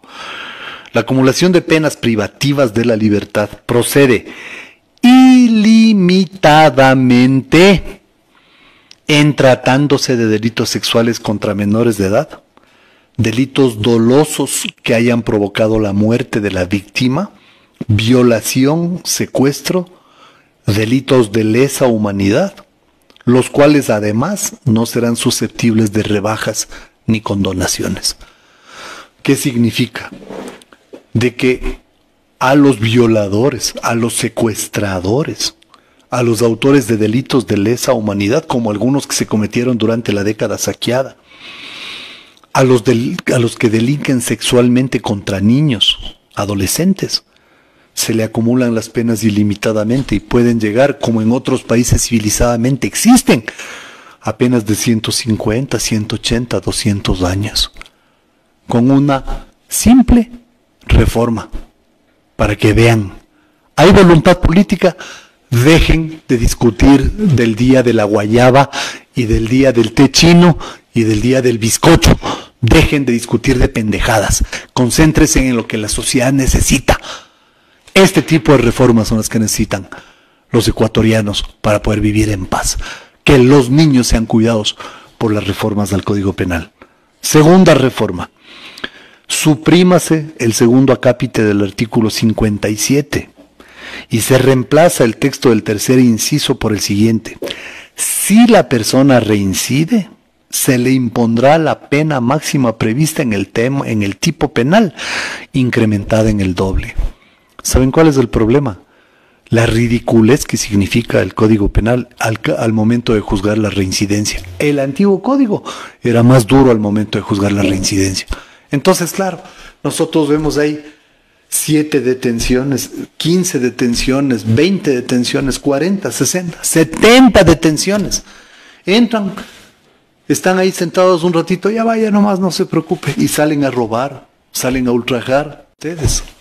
Entonces hay que frenar el tema de la reincidencia. Reincidente que es agarrado, señor, primero, usted no puede acogerse a ningún tipo de medida sustitutiva. Usted ha reincidido en el delito, se va preso. Segundo, la única posibilidad que existe es imponerle el máximo de la pena por el delito cometido multiplicada por dos. Ahí vamos a ver si unos cuantos no piensan dos veces en reincidir en los delitos. Ya sé, ya sé que van a venir los famosos sabios del derecho penal, que se creen ellos sabios del derecho penal, porque se han hecho millonarios con el derecho penal, que es diferente. Ser sabio es una cosa, ser millonario es otra cosa. A mí no me engañan. A mí no me comen el cuento. ¿Saben qué? Ya dirán, uy, es que eh, el agravamiento de las penas no resuelve el problema. Yo no digo que sea una varita mágica, pero al menos es una medida de persuasión a la que hay que acompañar con otro tipo de medidas. Porque si la pobreza sigue, si la marginalidad sigue, si la exclusión sigue, obviamente habrá siempre el caldo de cultivo para nuevos delincuentes. Entonces no solamente es un tema de normas penales, también es un tema de resolver las precarias condiciones de vida en que viven los ecuatorianos. Los dos asuntos tienen que ir de la mano. Y con esto ya les jodí el discurso a los famosos penalistas que se creen lumbreras y que nos se ponen en las pantallas de darnos lecciones de todo. Ya no, ya no. Aquí en este espacio les vamos a cortar las alas, ya van a ver. Luego, tercera reforma reemplaces el texto del primer inciso del artículo 59, que tiene que ver con las penas privativas de la libertad, con el siguiente texto. Las penas privativas de la libertad tienen una duración de hasta 40 años, salvo lo señalado en la reforma que ya planteé, es decir, salvo en delitos de violación, secuestro, muerte de la, de la persona, delitos sexuales contra niños, delitos de lesa humanidad. Ahí no hay límite de los 40 años en las penas.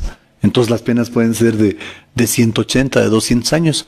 Ya veremos cuando estén vigentes esas penas cuántos se atreven a violar niños.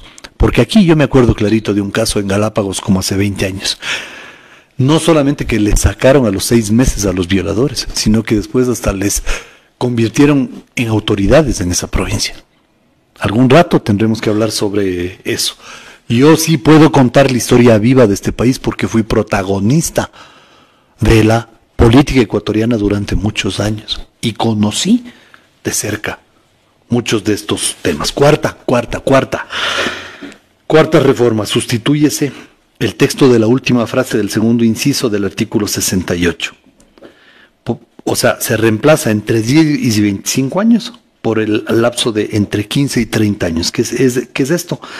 Se agrava la pena de pérdida de los derechos políticos para los sentenciados en delitos contra la administración pública, delincuencia organizada y asociación ilícita.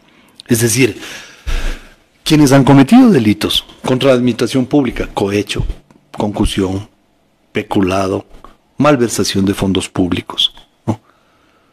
Esos delitos que son imprescriptibles, obviamente deben tener una pena de anulación, de suspensión de los derechos políticos más larga, porque la gente no quiere que esa gente regrese a la función pública a seguir haciendo de las suyas. Entonces es una reforma sencillita. Ahora hay que ver cómo votan los correístas en el momento que una reforma de esta naturaleza sea planteada. Totalmente de acuerdo. Yo diría hasta, eh, sumándome a otros criterios eh, de lo que dice Andrés Páez, yo creo que eh, en esta última que habla del artículo 68, pérdida de los derechos de participación, oiga, pero si alguien comete un crimen, ya no tiene chance de, de, participar políticamente, yo creo que debe ser ya de por vida que no participe. O alguien que se, que se roba el dinero del pueblo ecuatoriano a través de coimas, a través de contratos, yo creo que no tiene derecho a participar, ¿no? Me parece que ahí Andrés Páez está un poco generoso, ¿no? Porque aquí, miren ustedes, alguien que comete eh, una infracción, eh, lógicamente hay infracciones menores, ¿no?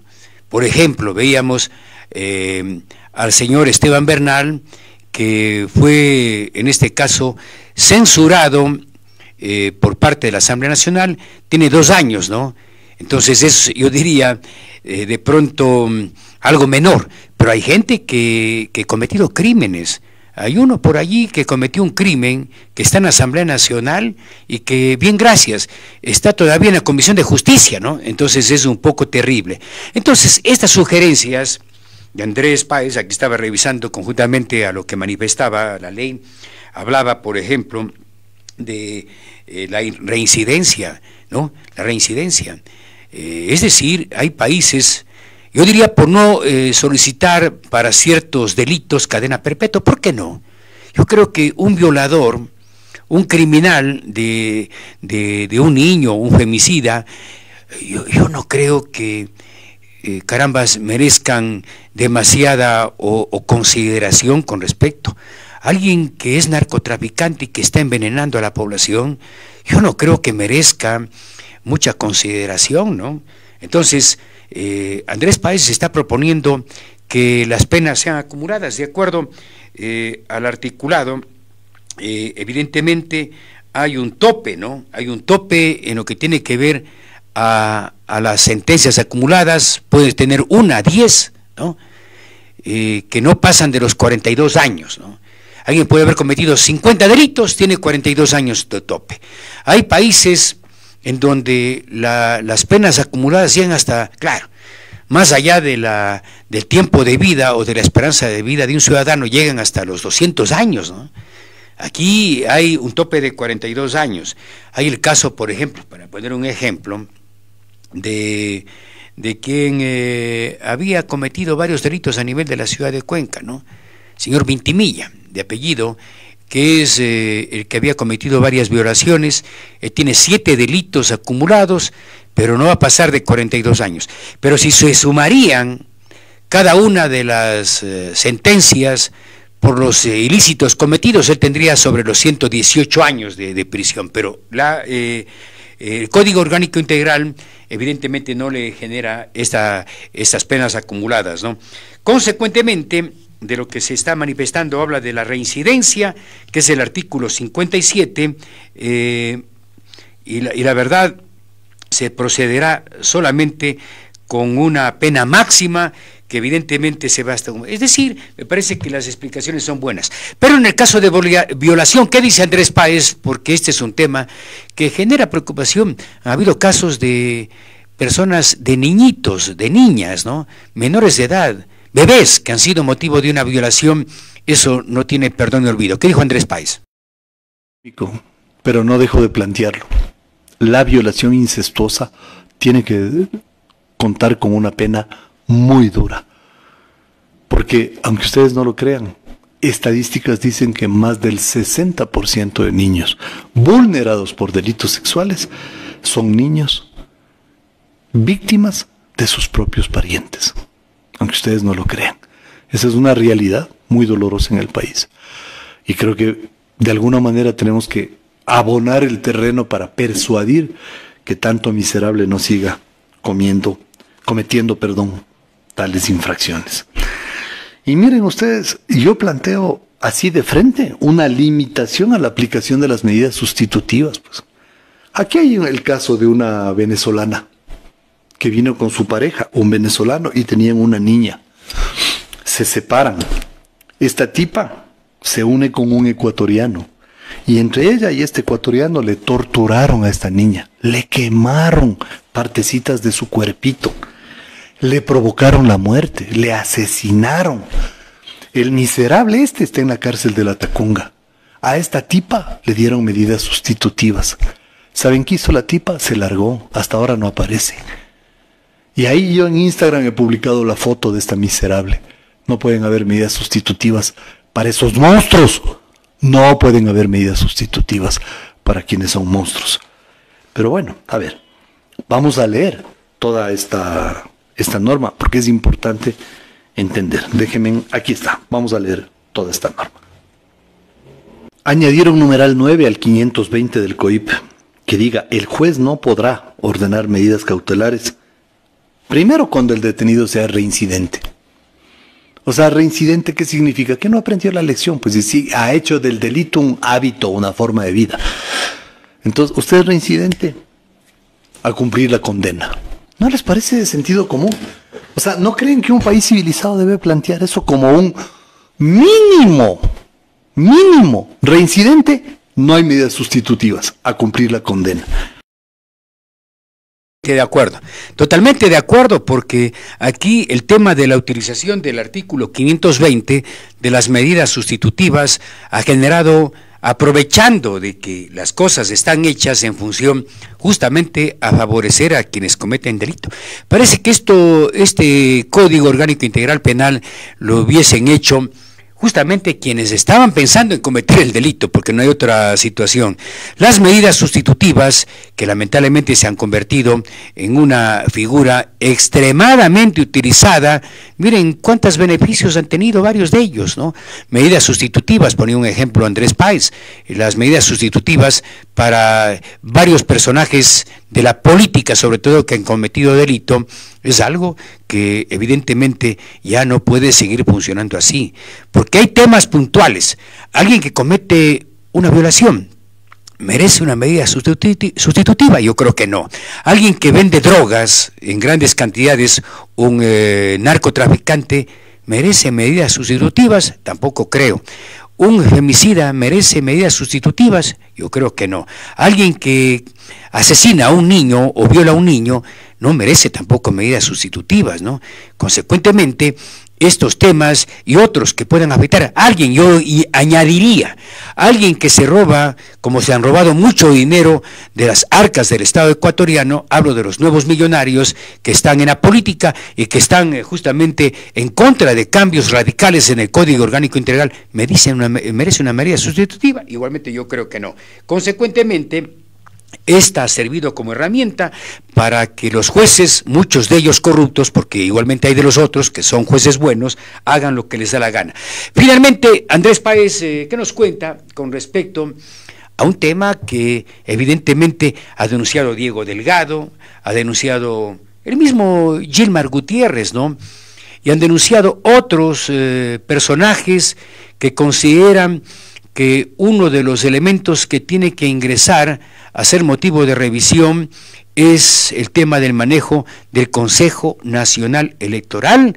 Se habla de los fraudes, se habla justamente de que allí está una situación que termina, por supuesto, afectando y mucho el eh, normal desarrollo de los procesos electorales y que se hablan de fraudes. Escuchemos qué es lo que dice Andrés Páez con respecto a ese tema. De tres años. Es un libro que lo quiero mencionar porque hay un tema que no debemos olvidar. Y me parece, me parece que algunos no le dan la importancia del caso. El Consejo Nacional Electoral siempre seguirá generando más dudas que certezas. Yo fui una víctima directa del Consejo Nacional Electoral dirigido por Cepillín ¿Se acuerdan de ese sinvergüenza, traidor a la patria llamado Juan Pablo Pozo? Que le decían Cepillín, parecido a ese personaje de las novelas. Cepillín era un empleado de Correa que luego del fraude del año 2017 es condecorado por Correa en Carondelet. Y la condecoración fue como el empleado del mes. Y obviamente en esa elección Guillermo Lazo y yo fuimos víctimas de un fraude electoral. Los, lo que condujo a ese fraude todavía no se ha resuelto en el Ecuador. Por favor, hágame en caso. Y este libro se llama Todas las pruebas del fraude, escrita por Juan Esteban Guarderas. ¿Por qué es esto un libro importante y que deberían leer todos? Porque ahora, ahora, ahora es el momento de comenzar a, pensar ya cómo neutralizar al Consejo Nacional Electoral en sus maniobras de fraude. Ustedes saben que todo el equipo de Cepillín, de Juan Pablo Pozo, trabaja con Atamaint. ¿Saben eso? Pues ya, para que vayan sabiendo. Todo el equipo de Pozo trabaja con Atamaint. Ahí están enquistados. Millonarios. Ahí están. Enquistados. Ahí están. ¿Y qué es lo que hace Juan Esteban con este libro? Primero hay que destacar que él logra tener la información para hacer este libro, porque trabajó en el Consejo Nacional Electoral, pues. Y ahí hizo acopio de todas las pruebas para demostrar que efectivamente se había cometido un, un fraude. Segundo, este libro lo que demuestra es que el Consejo Nacional Electoral, que antes del correísmo se llamaba Tribunal Supremo Electoral, y cuya composición era mejor, les voy a contar eso. El Consejo Nacional Electoral antes estaba integrado por siete vocales, de las siete fuerzas políticas más votadas. Esa era la garantía contra el fraude. ¿Por qué? Porque al representar a siete fuerzas políticas diferentes, cada una cuidaba sus votos. Con el correísmo, cinco de cinco correístas. Y hasta ahora es más fácil hacer. ¿Por qué no hicieron de siete? ¿Por qué acabaron a cinco? Porque es más fácil tener mayoría entre tres. O sea, tres de cinco y no cuatro de siete. De Andrés Páez con respecto justamente a ese tema. Eh, el librito eh, que escribió a propósito Juan Esteban Guarderas, que ayer lo entrevistamos, Juan Esteban, él hizo ese libro, en donde denunció, personalmente le pude haber, eh, le entrevisté más bien, ¿no? Cuando hizo el lanzamiento del libro y explicaba toda esta trama en donde pues evidentemente se, ha manejado el fraude. Incluso eh, se añadiría que el fraude se generó cuando Yacu Pérez también perdió. El fraude se, se, habría incluso desarrollado cuando don Álvaro Novoa Pontón también perdió las elecciones. Y eh, se menciona y estoy totalmente de acuerdo, alguien nefasto en el Consejo Electoral, que es Azuayo, ¿no? Que es Juan Pablo Pozo, que nadie sabe dónde está, ¿no? Nadie sabe dónde está, pero es de los personajes que evidentemente le hicieron o le generaron un perjuicio. La preocupación, ese librito a propósito de Juan Esteban Gorderas puede comprar usted en librería siglo XXI, ¿no? O siglo XX, ¿no? Bueno, ahí está, eh, me decían que está ese libro de venta y, las personas que quieren eh, conocer más a fondo eh, cuál es la investigación de Juan Esteban Guarderas que trabajó en el Consejo Nacional Electoral y pudo detectar todas estas anomalías. Consecuentemente, a mí sí me, preocupa más bien el hecho de que muy poco han reaccionado justamente los partidos políticos con respecto justamente a esta denuncia. Bueno, eso es eh, en cuanto tiene que ver al Código Orgánico Integral Penal.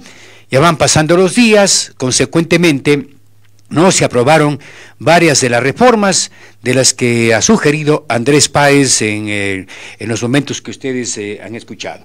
Vamos con otro problema que evidentemente no es menor y que genera preocupación. Hay una ley que igualmente la Asamblea Nacional tiene que impulsar es la ley de fomento lechero. Y voy para este sector que igualmente permanentemente le hemos dado importancia. El Ecuador eh, es un país que tiene muchas dificultades respecto pues al sector ganadero, a este sector importante, a este sector que nos da los alimentos y que evidentemente necesita sobre todo de un mayor respaldo con una ley por parte del Estado y por otra parte es importante que también el ciudadano, el consumidor, apoye este trabajo de un sector que evidentemente es fundamental y que posiblemente no le estamos dando la importancia del caso. Estar en el eh, sector y estar junto al ganadero, eso es trabajo, ¿no? Eso es sacrificio. El ganadero no descansa nunca. Este sí es 365 días al año. La vaca no se va de vacaciones, ¿no? Consecuentemente, este es un sector que necesita de una ley que respalde no solamente la actividad productiva, es el tema del precio, ¿no? Fácil es ir a comprar una funda de leche, ¿no? Y claro, no estamos midiendo eh, todo lo que hay en el entorno de este producto o cuando nos vamos a un mercado y compramos un litro de leche o, eh, o dos litros de leche, ¿no? Para hacer la nata. Detrás de todo eso hay un trabajo sacrificado, muchas veces de madrugada, eh, muchas veces eh, en cualquier día, en donde la situación evidentemente no es tan sencilla para un ser humano. Es decir, estar detrás del ganado todo el día, esa es la verdad. Necesitan una ley, necesitamos además que se complemente el tema con un mejor consumo. La producción lechera del Ecuador está por debajo de, lo que debería ser el consumo a nivel de nuestro país. ¿no? Consecuentemente, si somos 18 millones de habitantes, deberíamos tener una producción y un consumo de 9 millones de litros diarios. ¿no? 9 millones. Aquí se consumen menos de 5 millones de galones, de litros, perdón. Quiere decir que el ser humano no está consumiendo leche, está prefiriendo tomar eh, cualquier otro producto envasado, por allí un jugo eh, con químicos, o simplemente no desayunar, ¿no? O tomar un vaso de agua y por allí consumir algo. Hay que tomar una buena taza de leche, ¿no? Un buen café, con un huevo, si es posible, y con un pan, con mantequilla, ¿no? Eso es, eso es desayunar, y una fruta, ¿no? Ahí estamos bien. En todo caso, escuchemos a Francis, a, Francis Abad, así se llama el señor. Él es eh, representante del sector lechero. Ellos hablan de la necesidad de que esta ley se pueda aplicar, ¿no? La ley de fomento lechero para tranquilidad y para que este sector pueda eh, impulsar un crecimiento, un desarrollo y no estar en situaciones precarias. Escuchemos y veamos autoridades. Nosotros hemos ido a los diálogos, hemos ido a plantear todos los temas como tiene que ser, pero siempre recibimos del otro lado una estrategia por mantener las cosas como están. Eh, es una estrategia de la industria que le conviene los precios abajo, es una estrategia de los que pretenden exportar nuestros productos y está bien que así se haga, pero no a costa de sacrificarle al productor. Esa ha sido nuestra posición permanente y ahora que ya se van a cerrar las cosas, es decir, un reglamento que ya tiene que efectivizarse, que lleva 19 meses de mora, eh, eh, las autoridades gubernamentales tienen que tomar una decisión. O se inclinan por lo que dice la ley, se inclinan por eh, eh, hacer cumplir lo que aspira el sector productor o se siguen inclinando por aquellos sectores que les conviene seguir explotando y aprovechándose de las condiciones en las que se trabaja actualmente. Contra eso estamos, así que le hemos venido planteando al ministro el día jueves, tuvimos una reunión muy importante, el ministro eh, ha reaccionado positivamente, tenemos que reconocerlo. El día martes, si es que hay una reacción igual positiva, creo yo que el sector irá a agradecerle al presidente, porque los temas eh, estarían saliendo como tienen que salir, como manda la ley. Caso contrario, pues nosotros tenemos todo el derecho de expresar nuestra oposición y saldremos a la protesta, y esto sí, en todas las provincias del país. Ahora, el martes a las 2 de la tarde, ¿dónde se va a desarrollar y, bueno, cómo está el tema de la participación? Está convocado para, para el MAG, para el Ministerio de Agricultura y Ganadería, 2 de la tarde. Entendemos que en el, eh, digamos, en la oficina del señor ministro Ahí estarían los industriales, todos los representantes del sector industrial, los representantes del sector productor y los representantes de las autoridades. Entonces ahí hemos pedido que las autoridades que nos han acompañado estén también presentes, que hagan el seguimiento, que no nos dejen abandonados y ese, ese compromiso ha salido el día de hoy. Sin embargo, también desde la Asamblea Nacional han prometido su participación, así como su acompañamiento y también la instalación de una mesa técnica, entiendo yo que para el próximo miércoles. Así es, de parte de la Asamblea ha habido algunos compromisos. El día miércoles estaremos siendo parte de una, de una mesa de soberanía alimentaria en donde va a asistir el ministro. El día jueves de parte de una mesa técnica en donde se está elaborando una ley, entendemos así, una ley eh, para protegernos del contrabando agropecuario. Entonces son temas muy importantes, muy interesantes, que esperemos que se genere el compromiso, se genere la fuerza suficiente para que todos estos temas se concreten. El de eh, Francis Abad tiene toda la razón, ¿no? El sector eh, lechero es muy maltratado desde hace muchos años atrás. Y lo que están pidiendo eh, es sencillo, que haya una ley de fomento lechero una ley que permita, sobre todo, que no haya abuso, porque también hay gente que abusa de este sector, que realmente trabaja eh, eh, con mucho esfuerzo y que es, yo diría, hasta motivo de, un perjuicio, perdone, hasta de estafa por parte de ciertos sectores que compran la leche, ¿no? Y que no respetan ni siquiera, eh, ni siquiera el precio de referencia. ¿Qué más dijo? Escuchemos al asambleísta Carmen eh, Tiupul, así se llama, ¿no? Que es de Chimborazo, que también se une a esta petición. La reunión es el día de hoy. Esto eh, es una noticia para los amigos ganaderos, que también hay muchos a nivel de la provincia de La Suay. Los productores están perdiendo todas sus cosechas, los arroceros, y en ese sentido, como país, debemos también estar alertas porque desafortunadamente estos desastres naturales traen grandes pérdidas y los bancos, las cooperativas no esperan. Las deudas están ahí presentes y son situaciones en las que debemos ir trabajando en conjunto. Nuevamente repetirles a ustedes muchísimas gracias y repetimos, esta lucha no es de una o de dos personas, esta lucha les corresponde a ustedes, que son los verdaderos productores, los que están en el sector rural. Por ustedes y para ustedes, nuestras voces estarán allí en la Asamblea Nacional. Muchísimas gracias, mil disculpas, debo retirarme, pero queda mi compañero para recoger todas las observaciones, sus aportes y nuevamente repetimos, sin miedo, sin temor, debemos hacer respetar nuestros derechos. Y más allá de estar en una función pública y de ser autoridades, somos seres humanos, ciudadanos que venimos desde lo más abajo, desde muchas veces cuando nos han generado de pronto criminalizaciones, persecuciones por salir. No, señores, necesitamos organizarnos. Hemos hecho las mesas de diálogos correspondientes, porque también compartimos con eso. Nosotros somos entes de diálogo, de propuestas, de aportes, pero también sí hemos tenido indignación cuando nos dan largas y largas y largas.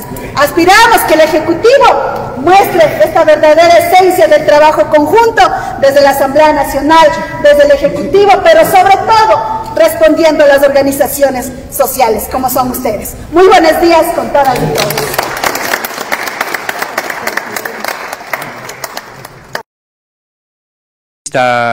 Eh, Carmen, eh, eh, quien manifiesta, Carmen Tiupul, ¿no? Es de Chimborazo, apoyando que esta ley. Estos son temas importantes y es evidente que la población, los productores tienen que unirse.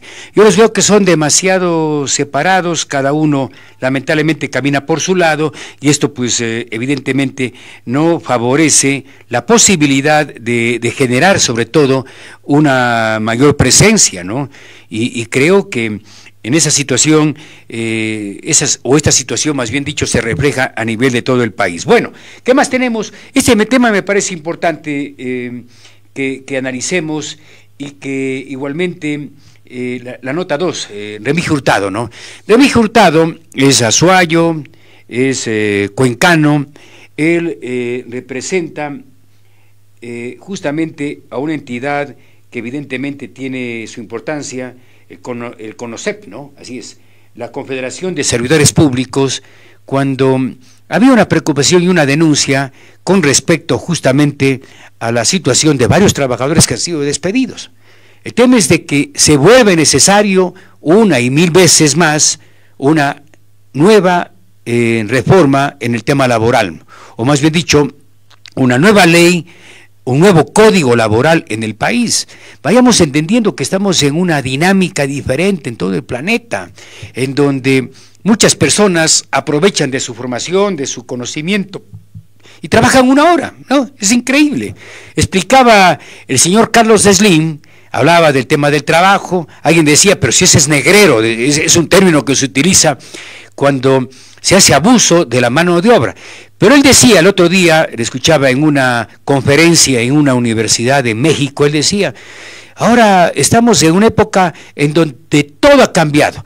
Yo puedo contratar a alguien que en una hora me resuelva, una hora a la semana, me resuelva muchas cosas que yo necesito en mi actividad productiva.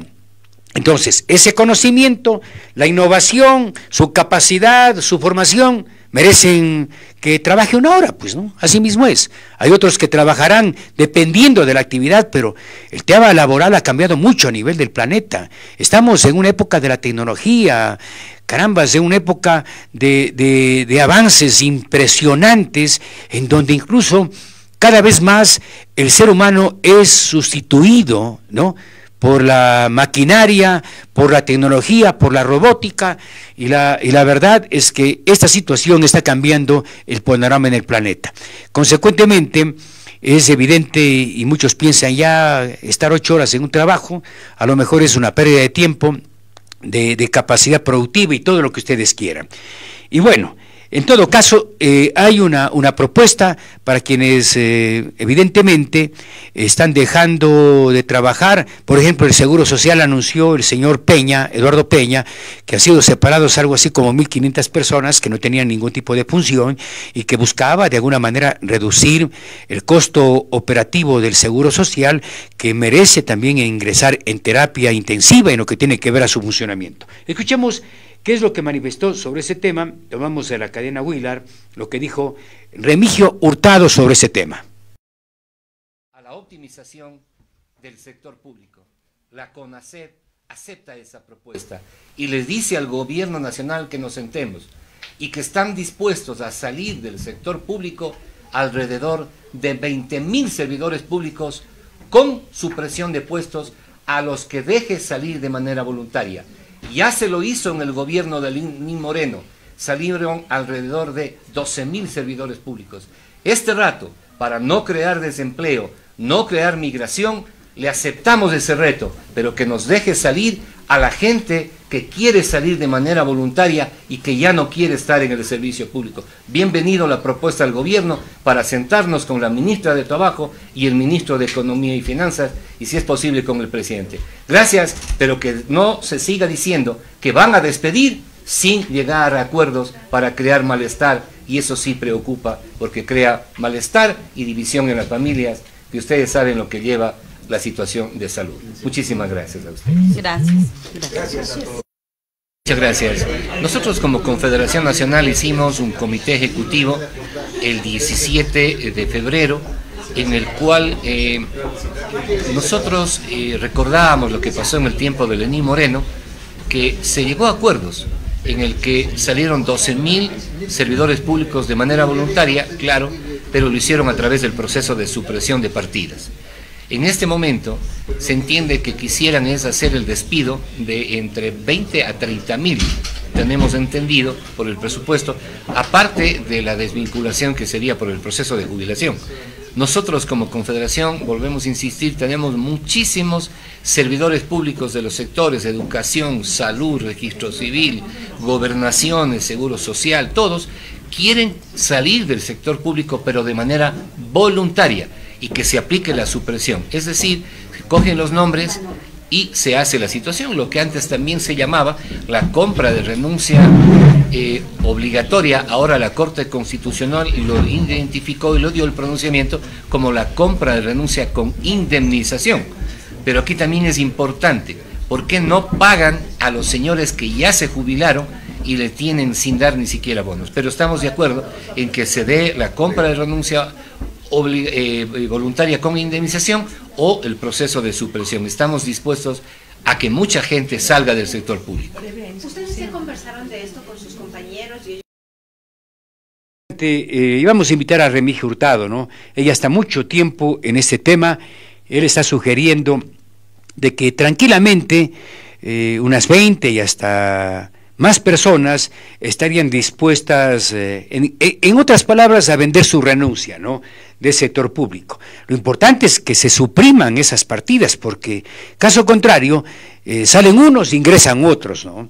Y esta práctica eh, debería generarse a todo el nivel del sector público, del seguro social, de varios ministerios, de gobernaciones, de municipios, de prefecturas, tomando en consideración que hay una carga demasiado grande en este sector. En el mismo presupuesto del Estado, estábamos revisando que solamente en salarios para, para este año, escuchen, para este año está calculado 9.823 millones de dólares en salarios en el sector público, que es una cifra espeluznante, tomando en consideración tomando en consideración de que evidentemente eh, el país eh, gasta o utiliza demasiados recursos en burocracia. Eh, se supone que lo ideal es que de un presupuesto del Estado eh, esa cifra no vaya más allá de un 12, 13%, ¿no? Es decir, eh, un Estado podría funcionar utilizando un poco menos de la mitad de esa cantidad, es decir, unos 4 mil millones, 5 mil millones en salarios, funcionaría bien, tal vez hasta un poquito más, tomando en consideración Fuerzas Armadas y Ejército, ¿no? Pero aquí se utiliza demasiado, estamos hablando de casi 500 mil burócratas, que es lo que, lo que se dispone en este momento. Ahora, eh, el tema no es tan sencillo que digamos, ¿no? Es decir, Remigio Hurtado dice, sí, efectivamente, eh, estamos dispuestos o están dispuestos a renunciar muchas personas, pero también hay que regular el tema del costo de esa indemnización, porque también estamos hablando de una millonada, es decir, alguien que quiere, que ha trabajado 10 años, 15 años supongamos, no va a querer menos de unos 30 o 40 mil dólares eh, para poder salir de su trabajo, ¿no? Entonces, en todo caso, habla de la disposición, creo que hay que depurar el sector burocrático y creo que es necesario que esto se aplique incluso en las empresas públicas, muchas de ellas sobresaturadas en lo que tiene que ver a empleados. Bueno, aquí hay varios comentarios. Luisa, eh, Laura Andrade dice, quisiera que vea los cables en la castellada, los cables de, de lo que estábamos comentando hace un rato, ¿no? Eh, Caramba, otro problema, dice Clever Calle, es que los trabajadores de estas empresas dejan los de Ah, bueno, son, son temas de los que ya habíamos comentado y no, no, no había dado lectura. Pero saludos a todas las personas que efectivamente nos están eh, acompañando en este espacio. Eh, ponga esas fotos, oiga, eh, miren este accidente de tránsito que se acaba de suscitar en la vía Cuenca Loja, ¿no? Terrible. Este accidente, las primeras fotografías hasta el momento nos informan que hay un muerto y hay un total de siete heridos. Un accidente terrible, eh, carambas, eh, esto se registró hoy en la mañana, es una furgoneta y un auto. Todo esto es consecuencia del exceso de velocidad y de la forma, lamentablemente, como la gente conduce, ¿no? Exceso de velocidad, eh, la gente no toma las precauciones, son además, o conspira todo esto, nuestras eh, carreteras que son angostas, no hay una, una carretera que diga o que nos eh, dé confianza. Cuando uno viaja a Guayaquil, como dicen, va con el alma en la garganta, ¿no? Eh, con el miedo de que alguien les haga del otro lado y pase lo que están viendo. Qué pena, qué pena. Esto nos acaba de enviar Lucho Vintimilla en este momento. Son imágenes de un accidente en el sector de Santiago, me dice, ¿no? En Santiago, en la, parroquia Santiago, en la cuenca, en la vía Cuenca Loja, que eh, se ha convertido también en una zona muy peligrosa. Qué pena, hay un muerto, siete personas heridas, ahí parece una furgoneta que entiendo que parece que es de turismo, que es la que eh, se ha accidentado en este momento. Bueno, vamos con el tema conflictos, ¿no? vamos ya eh, con otros temas importantes que han generado, qué pena, ya vamos a ampliar un poco más esta información. Eh, parece que el accidente es consecuencia de una imprudencia del conductor de la furgoneta, me ponen aquí, pero esto vamos a verificar. Bueno, vean este dato, ¿no? Ponga la imagen. Eh, ya están eh, determinados cuántas personas van a, votar en este proceso electoral. A ver, estos exactamente son los que están eh, listos para votar en, la consulta que será el 21 de abril, es decir, estamos a 55 días de la consulta y el referéndum. Están habilitados en el padrón electoral ni uno más ni uno menos 13 millones 654 mil 291 ecuatorianos. En el Azuay son más o menos eh, casi 700 mil. Bueno, 13 millones 654 mil 291. El próximo cuadro, por favor. Eh, ahí estamos viendo, eh, además, ¿no? Cuántas personas están, en este caso, a, escala nacional y en el exterior. A escala nacional 13.225.126. En el exterior, tomando en cuenta Estados Unidos, eh, España, Italia y el resto de países, 429.165. El tema es que en el exterior no van más del 20% a votar en el eh, próximo proceso que será la consulta y el referéndum, ¿no? 11 preguntas planteadas por el presidente. En la próxima lámina, no hay próxima lámina, si hay una más, ¿no? Efectivamente, ahí están también, se incluyen a las personas entre los 16 y los 18 años eh, que estarán. Este es, eh, si es que quieren, es eh, cuestión ya de, de, cada uno de los jóvenes, ¿no? No es obligatorio, 649 mil 265 personas las que van a votar de, en esta edad y, bueno, son las personas que estarían participando justamente de esta contienda electoral, las que van a participar justamente de este proceso que efectivamente se está desarrollando. Consecuentemente, eh, lo que les quiero manifestar a ustedes, queridos amigos, que comienza a correr la cuenta regresiva para el proceso electoral, ¿no? El proceso electoral. Y una cosa que me llamó la atención, hagamos nomás el cuadrito. Ahí le mandé otro, por favor, ¿no? Hagamos nomás el cuadrito. Ustedes pueden ver, lo que me llamó la atención, tampoco me asusta, ¿no? Tampoco me asusta. Pero es evidente de que, carambas, entre las personas que van a votar, hay gente que se cambió de género. Escuchen esto, 1.321 varones se cambiaron a género femenino, ¿no? Es decir, van a votar como mujeres, ¿no? 1.321 jóvenes ciudadanos, ¿no? En su mayoría son jóvenes, de acuerdo al dato que da el Consejo Nacional Electoral. ¿Qué les diré, no? ¿Qué les diré? Respeto, pero este mundo está loco, ¿no? ¿Y saben cuántas mujeres cambiaron de ser mujer a varón, ¿no? Es decir, cambiaron a género masculino. 323 mujeres cambiaron a género masculino. ¿Qué les parece? 321 damitas que dijeron, no, yo soy hombre y me inscribo como varón. ¿no?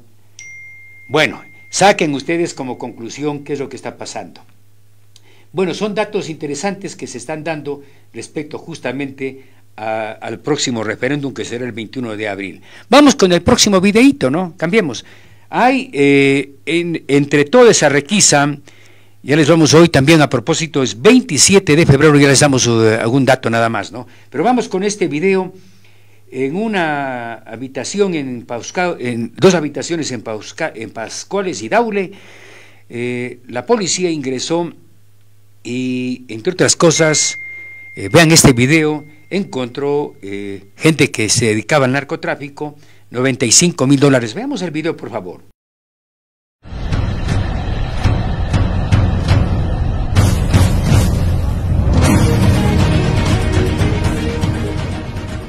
Nacional, a través de la DGI, desarrolla en los distritos Pascuales y Daule allanamientos.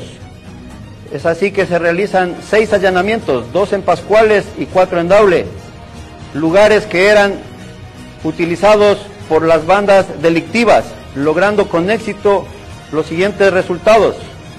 Tres personas aprendidas, todos ecuatorianos, de nombres Dr. Severo T, Carlos Aurelio C, Ariana Nayeli Q, sin antecedentes, y como indicios dos armas de fuego, una tipo revólver y una pistola, varios cartuchos de diferentes calibres, una motocicleta recuperada marca Cineray, un teléfono satelital marca Ericsson, dos celulares más, dinero en efectivo alrededor de 95 mil dólares encaletados en distintos lugares del inmueble que no supieron ser justificados. Los operativos forman parte del plan de seguridad Fénix que tiene por objeto velar por la seguridad de todos los ecuatorianos. Bueno, ¿qué les parece, no? Es decir, es eh, imparable el tema de la participación tanto de la policía como Fuerzas Armadas. Hay que darle mérito a esto, ¿no? Eh, ya no se logra en muchos de los casos eh, capturas de grandes cantidades de droga o de armas, pero se sigue. Y esto que ustedes acaban de ver es situación que tampoco, yo diría, termina generando temor o miedo a nivel de quienes están dedicados a delinquir, ¿no? Consecuentemente, esto se da. Hay eh, lo siguiente, pongo unas fotografías.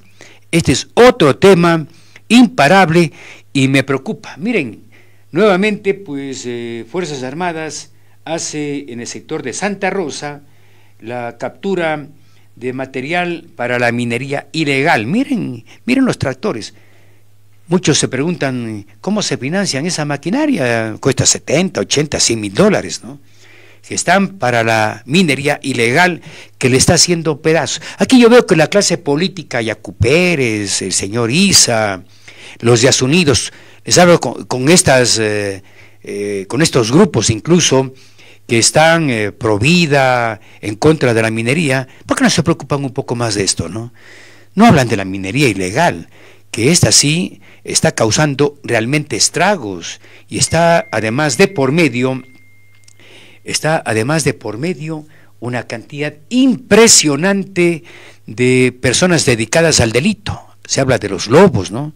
Que están metidos en este tipo de actividad minería ilegal, que es una forma de lavar y de obtener más dinero, ¿no? Consecuentemente, lo que ustedes están viendo, esto es casi de todos los días.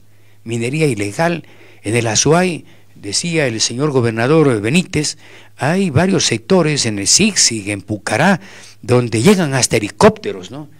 Pero yo veo que los actores sociales, los que eh, los ecologistas no dicen absolutamente nada de la minería ilegal.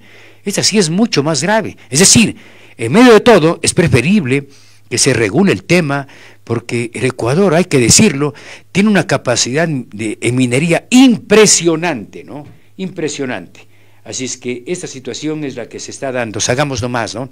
Ahí hay una, ponga ese cuadrito que les envié, porque no podemos dejar de mencionar eh, una fecha como el día de hoy, es eh, la, la batalla del Portete, ¿no? No es la batalla de Tarqui, Tarqui está más acá nomás, ¿no? Es en el Portete, ahí hay una, equivocación histórica, es en, el, en el Portete, la batalla del Portete es como debe llamarse, es en el sector del Portete donde se generó la, batalla. Tarqui está más cerca de, Cuenca, ¿no? Consecuentemente, y claro, ya quedó Tarqui, la batalla de Tarqui, batallón Tarqui, eh, y es la celebración que hacen eh, eh, en esta jornada 125 años se libró el 27 de febrero en el Portete, ¿no? que está, eh, bueno, cercano acá a Cuenca, entre la actual República del Ecuador, antes no se llamaba Ecuador, eh, entre las tropas peruanas comandadas por un cuencano que muchos también le califican mal, que es el eh, general José de la Mar, que nació en Cuenca. Para más señas nació en la calle Bolívar, ¿no? Ahí nació la Mar. ¿Saben dónde nació? Donde ahora es el Palacio Municipal. Ahí nació este famoso general, que le reconozco, ¿no? Él fue, no había la República del Ecuador, quiso anexar al Ecuador y sobre todo a Cuenca, al Perú, en su momento. El general José de la Mar, ¿no? Que justa, y, Grau, ¿no? Además, ¿no? Cuencanazo, él eh, fue al Perú a formarse en, en formación militar, eh, él quiso anexar a Cuenca, ¿no? Al Perú, cuando no había la República del Ecuador. Y se le malentendió mucho, se le, se ve como traicionero, y eso no es cierto. Este es un gran hombre, un gran personaje, que incluso miren el nivel de cuencanos, fue el primer presidente del Perú, ¿no? El general José de la Mar, aquí tenemos un aeropuerto, tenemos una calle, y, la verdad es que es uno de los grandes personajes del Ecuador, claro, embarrado por eh, gente que ha malinterpretado su papel como traicionero al Ecuador, y no hay tal. Acuérdense que loco que ama, Bucarán quiso que se retire el nombre del aeropuerto Mariscal Amar, ¿no? Es por su ignorancia que hablaba, más no por su eh, situación de querer remediar eh, la historia del Ecuador, ¿no? En todo caso, en aquella época la República de la Colombia, comandada por Antonio José de Sucre y Juan José Flores, eh, lograron la victoria táctica ¿no? sobre la división peruana, eh, esto en el Portete. ¿no? Y miren que la guerra, aparentemente, este conflicto le ganó el Perú. Y ellos estaban festejando. Hay unas historias que son impresionantes, eh, que deberían ser llevadas, yo digo, al video, para que la gente le tenga más amor a nuestro querido Ecuador. Se habla de que Sucre fue a las 11 de la noche, ¿no? En aquella época, imagínense, 1829 no había luz, pues, ni una vela, es decir, ir al portete y sorprender a las tropas peruanas y hacer que desistan y que se retiren, la verdad es que esto es un acontecimiento importante que lo estamos celebrando y haciendo un saludo querido a nuestro país. El general Antonio José de Sucre es un gran personaje, sus restos están eh, allá en la capital de la República. Y bueno, es parte de esta historia, es un poco largo, pero eh, es parte de lo que nos compete y lo que tenemos que recordar siempre. Hagamos nomás, tal vez el último datito, ¿no? Para la reflexión, eh, que me parece igualmente importante. A ver, Lucho me había enviado aquí un material. el día de ayer fue el festival de Viña del Mar, un, evento espectacular en Chile, ¿no? Y la verdad, eh, participó eh, Andrea Bocelli, ¿no? ¿Cuándo tendremos a Andrea Bocelli aquí en el Ecuador en vez de traer esos eh, reggaetoneros adefesiosos? A mí no me gusta, ¿no? Pero un Andrea Bocelli, ¿no? Qué bien que el otro día vino Luis Miguel, sé que ha estado un poco antipático, pero es un cantante formidable, ¿no? Para traer a otros personajes. Ayer fue homenajeado el gran Roger Federer, para mí el mejor tenista de la historia, ¿no? Durante la presentación de Andrea Bocelli. Eh, y la verdad es que este evento, este evento del Festival de Villa del Mar, se mantiene por muchos años. Bueno, eh, ¿qué más me dice Lucho por acá? Dice que quien preside la Asamblea Nacional es Viviana Veloz. Mejor no quiero comentar, Lucho, más bien dejemos ahí nomás. Pongamos este videíto porque quiero comentar algo. El periodista el señor Jaramillo de un canal de, Loja, parece que a los alcaldes, y allí sí viene el comentario, ¿quiénes son los responsables de, este maltrato al periodismo? Porque hay mal periodismo y hay buen periodismo también, pues hay que, hay que reconocer y creo que eso hay que valorar, ¿no? Qué pena que tengamos eh, un escenario de mucha agresividad a los medios de comunicación. El alcalde de Loja se llama eh, es del señor Quesada, ¿no? El señor Quesada, Franco Quesada se llama. Este se pasa peleando todos los días con la prensa, ¿no? Y desde, habla de la prensa corrupta, al estilo del que ya sabemos. Agrede, insulta, maltrata a la prensa. Pero escuchemos eh, este paisaje donde el alcalde le reclama al periodista, señor Jaramillo. Miren lo que le dice y luego comentamos algo. Pero es un veto puede ser que alguien que nos ataque, que nos insulte todos los días tenga que recibirles. Es como que yo, que yo les invite a mi casa y les insulte todos los días, no puede ser. Con los otros medios no tengo problema, con los que dañan la imagen, la integridad de las personas, de gente honesta como nosotros, no. Eso sí, le ¿Pero es un veto oficial? Sí, yo lo digo. Porque ustedes no, de verdad. Insultan todos los días y dañan la imagen de nosotros las personas buenas. Así que eso no. El Coloradito es el alcalde de Loja, ¿no? Está reclamando al señor Jaramillo, que es de un canal de televisión, ¿no? Y claro, dice que él se lleva muy bien con el resto de medios, ¿no? Eh, yo veo que los eh, alcaldes eh, actúan a la carta, con este sí, con este no. Miren, en el plano de este modesto medio, nosotros tenemos un papel en la comunicación de mucho respeto, de crítica, porque no estamos para alabar a una autoridad. Y miren ustedes que ya son años que no vienen acá los alcaldes, ¿no?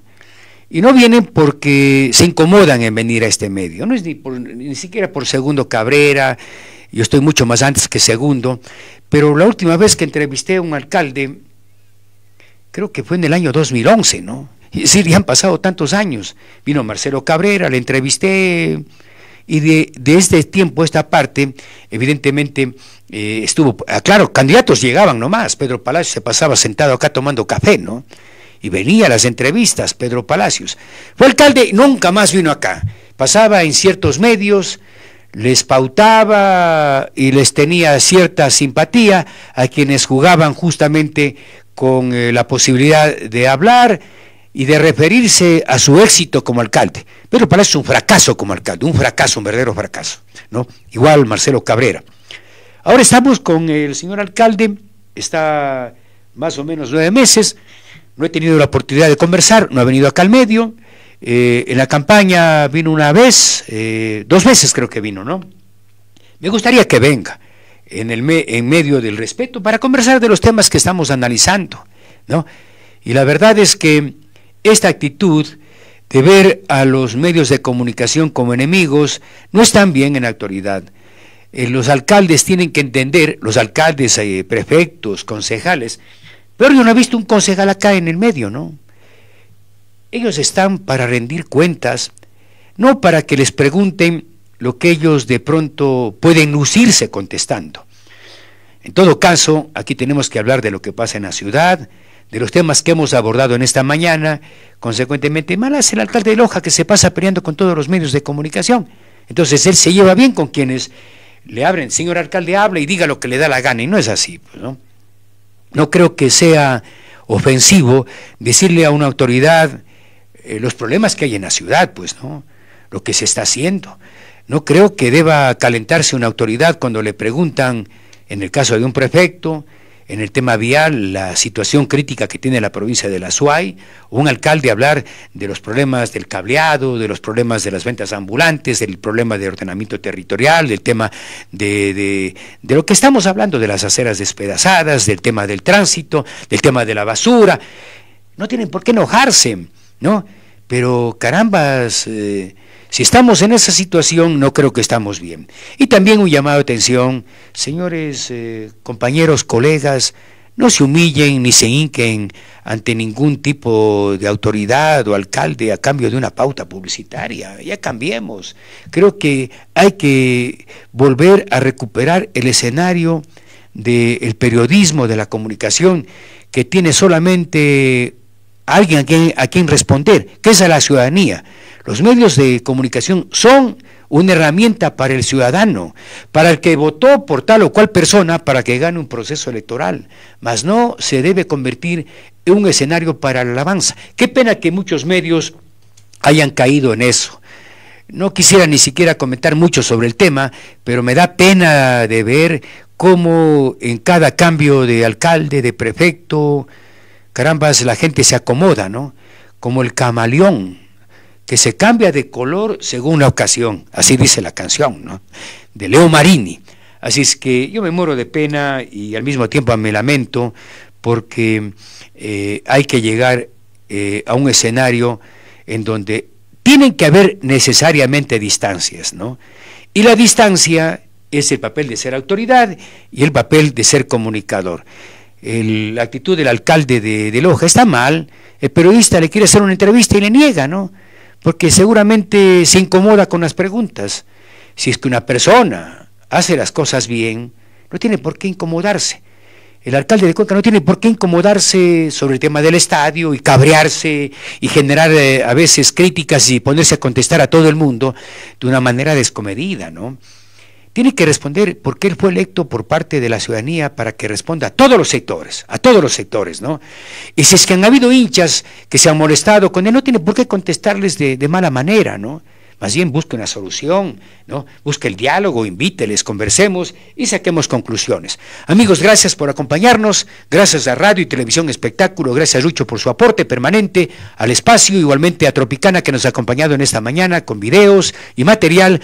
Gracias a todos eh, los que nos eh, han seguido a través de Periodismo Sin Mordaza, más medios, Radio y Televisión Espectáculo.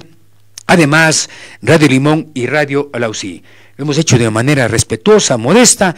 Esperemos de que las causas eh, que llevan a que tengamos ese tipo de espacios sean de conocimiento y de interés por parte de la ciudadanía. Que tengan una buena jornada, muy buenos días. El programa, como siempre, queda grabado para que quienes no han visto puedan hacerlo en el transcurso del día. Muy buenos días.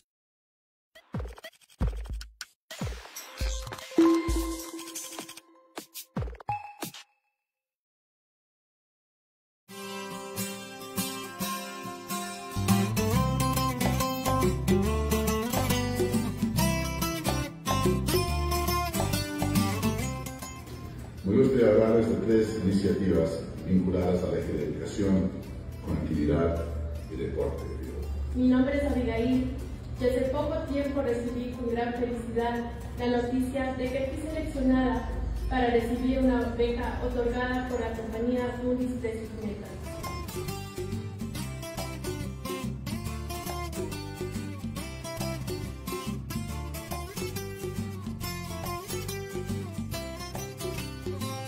somos como la vida.